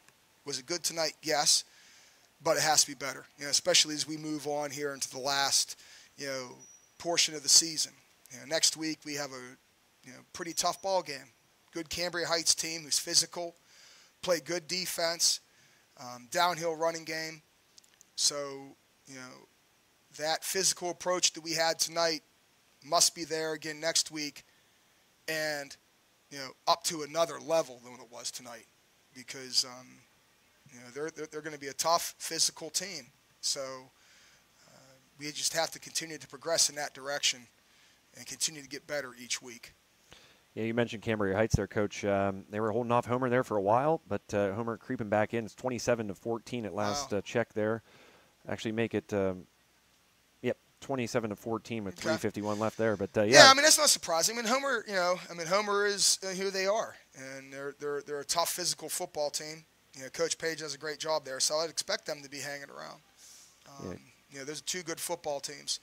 You know, I don't know what else is really going on in the conference tonight, but um, Got a late one here. Portage 27, purchase line 26 with seven minutes in the fourth. So that, that's a little, you know. But again, I mean, uh, the thing isn't heritage. You know, I mean, it. Yep. Top to bottom each week. Um, you know, it, it, it's it's an extremely competitive conference. Yeah. I mean, it really is. especially with the new Um, teams and adding so many more teams yeah, into it. it, it just makes it that much even more competitive. Um, you know, I mean, you, like you, know, you said there, you know, Portage is you know what up up by one on purchase line. Yep.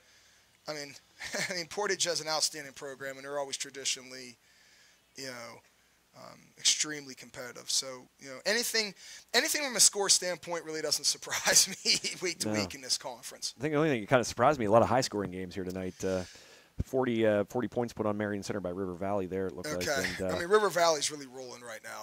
Um, you know, I mean, unfortunately, last week, you know, we you know, didn't play our best, uh, but you know, hats off to them. So I mean, you know, it's a it's an exciting conference. So, you know, like I said, um, you know, we gotta gotta be at our top of our game next week. Coach, uh, I'd be remiss. To, obviously, a big night for Lou. Um, that record, I know Right. you know this about Lou as much as I do. That he's not out here for personal accolades. No, Uh, he's not. But it, but what a what an impressive feat that is, and to do it with four games remaining Right, too. right. Um, I mean, for for what he's done so far this season, I, I don't know how many yards he had tonight. Um, he'd probably close to 200. I would I would assume so. I mean, he had over 1,100 coming into the ball game. which is insane. So, you know, six games and you're 13, 1,400 yards. Um, that's uh, that's pretty impressive. Coach, I'm doing this late. Can you hear me now? I can hear you now. There we go. I saw, I'm sorry, Coach. I don't know why. No, no. I just thought of that because I'm up here talking about myself the whole time. But uh, uh, yeah, that's the thing about Lou. I think that's so amazing. You look at his first half numbers. I have them written here somewhere, but I think he had 132 yards rushing and still 108 or something like that in the air. Yeah. or 130. I think it's darn split there. Um, what Which he can't great. do. I mean, that, yeah. that's great balance. Right. And you kind of mentioned it too with Ezra. You know, you know this, and, and I think your players know this with, with the kind of offense you like to run. Those chances for your receivers are going to be fewer and further between. But it seems like with Ezra, he makes the most of every single Oh, one he's of those. capable. I mean, Ezra's a you know excellent athlete, and um, you know he's tall. You know, it's so I mean he, he can be a matchup problem, and um, you know whenever he's on top of his game, he's he's pretty good. Yeah, and I love that touchdown catch by him because you could kind of tell that ball was perfectly thrown by Lou. Of Perfect course. throw, perfect catch. You know, you, you couldn't have uh, executed it much better. Yeah, and he kind of like did a little bit of a hesitation just to kind of keep the defender off of him, Off. and then put those hands out to, uh, you know, bring it in all hands too. So Right. just a great kind of just a high IQ play there by Ezra. Um, Coach, just quickly give me uh, what it's going to take for you guys to, to you know take a take a step here in these next few games and get back to the postseason. Yeah, I mean, you know, it's uh, each week now is a one-game playoff. You know, and the only uh, you know the only game that matters is the one that we're uh, that we're gonna have next week right now. Um, so uh, all focus needs to be on you know getting better this week and being the best that we can possibly be for a good football team. And you know, you know we have four games left, and they're all going to be tough physical games. Um, so we, we better continue to uh, to progress and keep getting better each week. Because if you don't, uh, there's a good chance that, uh, that you're going to lose Friday. Yep. Well said, Coach. Thanks so much. Uh, little update here. I know you're not an Armstrong grab, but you're a Kittanning guy. Kittanning guy. So you kind of Yeah, so that's good that uh, Armstrong won. they won. Yep. That's that's good. It's Big good comeback there. Yeah, only Yep. allowed 20 points. It's a good night for the Armstrong School District. Then. There it is. Yeah, exactly. That's why it's relevant. But uh, coach, again, thank you so much. Uh, great, great, great to see you because I haven't too, seen you Joe. for quite some time. Um, and best of luck moving forward. I know uh, I appreciate you got that tough game against Cambria Heights. I think you got Northern Cambria in the schedule, Homer, and then yeah, we got Center we got three in, three in a row at, at home. That's nice. Cambria Heights, Homer, then Northern, and then we finish at Marion Center. Right, which is a nice short drive too. Right. And nights like right. this, I don't so know no, how much. So no more uh, long uh, long hauls like it is tonight. yeah, hour and a half trip home at uh, whatever time, 9:30. But hey, you know, hour and a half uh, ride home is not so bad after a victory. after win tonight. Exactly. Coach, thanks again. Great to see Thanks, you. Joe. Take care. Best of luck You too, moving buddy. forward. Thank you. Absolutely. John McCullough, head coach of the West Shamokin Wolves. What is this? Year nine for you, coach? I think 11. So I'm gonna. I think I'm pretty sure you're the longest tenured coach in West Shamokin history, if I'm not correct. So, and certainly uh, school lucky to have that uh, gentleman there with his wealth of knowledge. But uh, thanks so much, coach. As always, it's just a pleasure. Really. No problem, Joe. Thank, Thank you. you. John McCullough, West Shamokin head coach. After the Wolves are able to take a 42 to six win over the Conemaugh Valley Blue Jays here on High Top Sports Network. I don't want to keep any of you folks up any later than you have to. My bedtime's soon enough. Um, but uh, do want to thank our sponsors again. You know who those folks are. Read them all night, and uh, they're wonderful people too, and we're so grateful to have them. Uh, but lastly, thank you folks. You have many ways to spend your time, as I like to say, and you decide to spend it with us, and that doesn't go unnoticed or unappreciated. And we certainly uh, value your viewership and uh, your support of us here on High Top Sports Network. Um, for Ryan Farster to my right, Ryan, thank you for an excellent job on camera as always. Um, just a terrific job there. Um, and again, thank you folks. You guys are terrific. Until uh, until sometime this week, um, we're bringing some volleyball. We got football, of course, next Friday. But until then, uh, I like to say, may no train pass you by. We'll see you.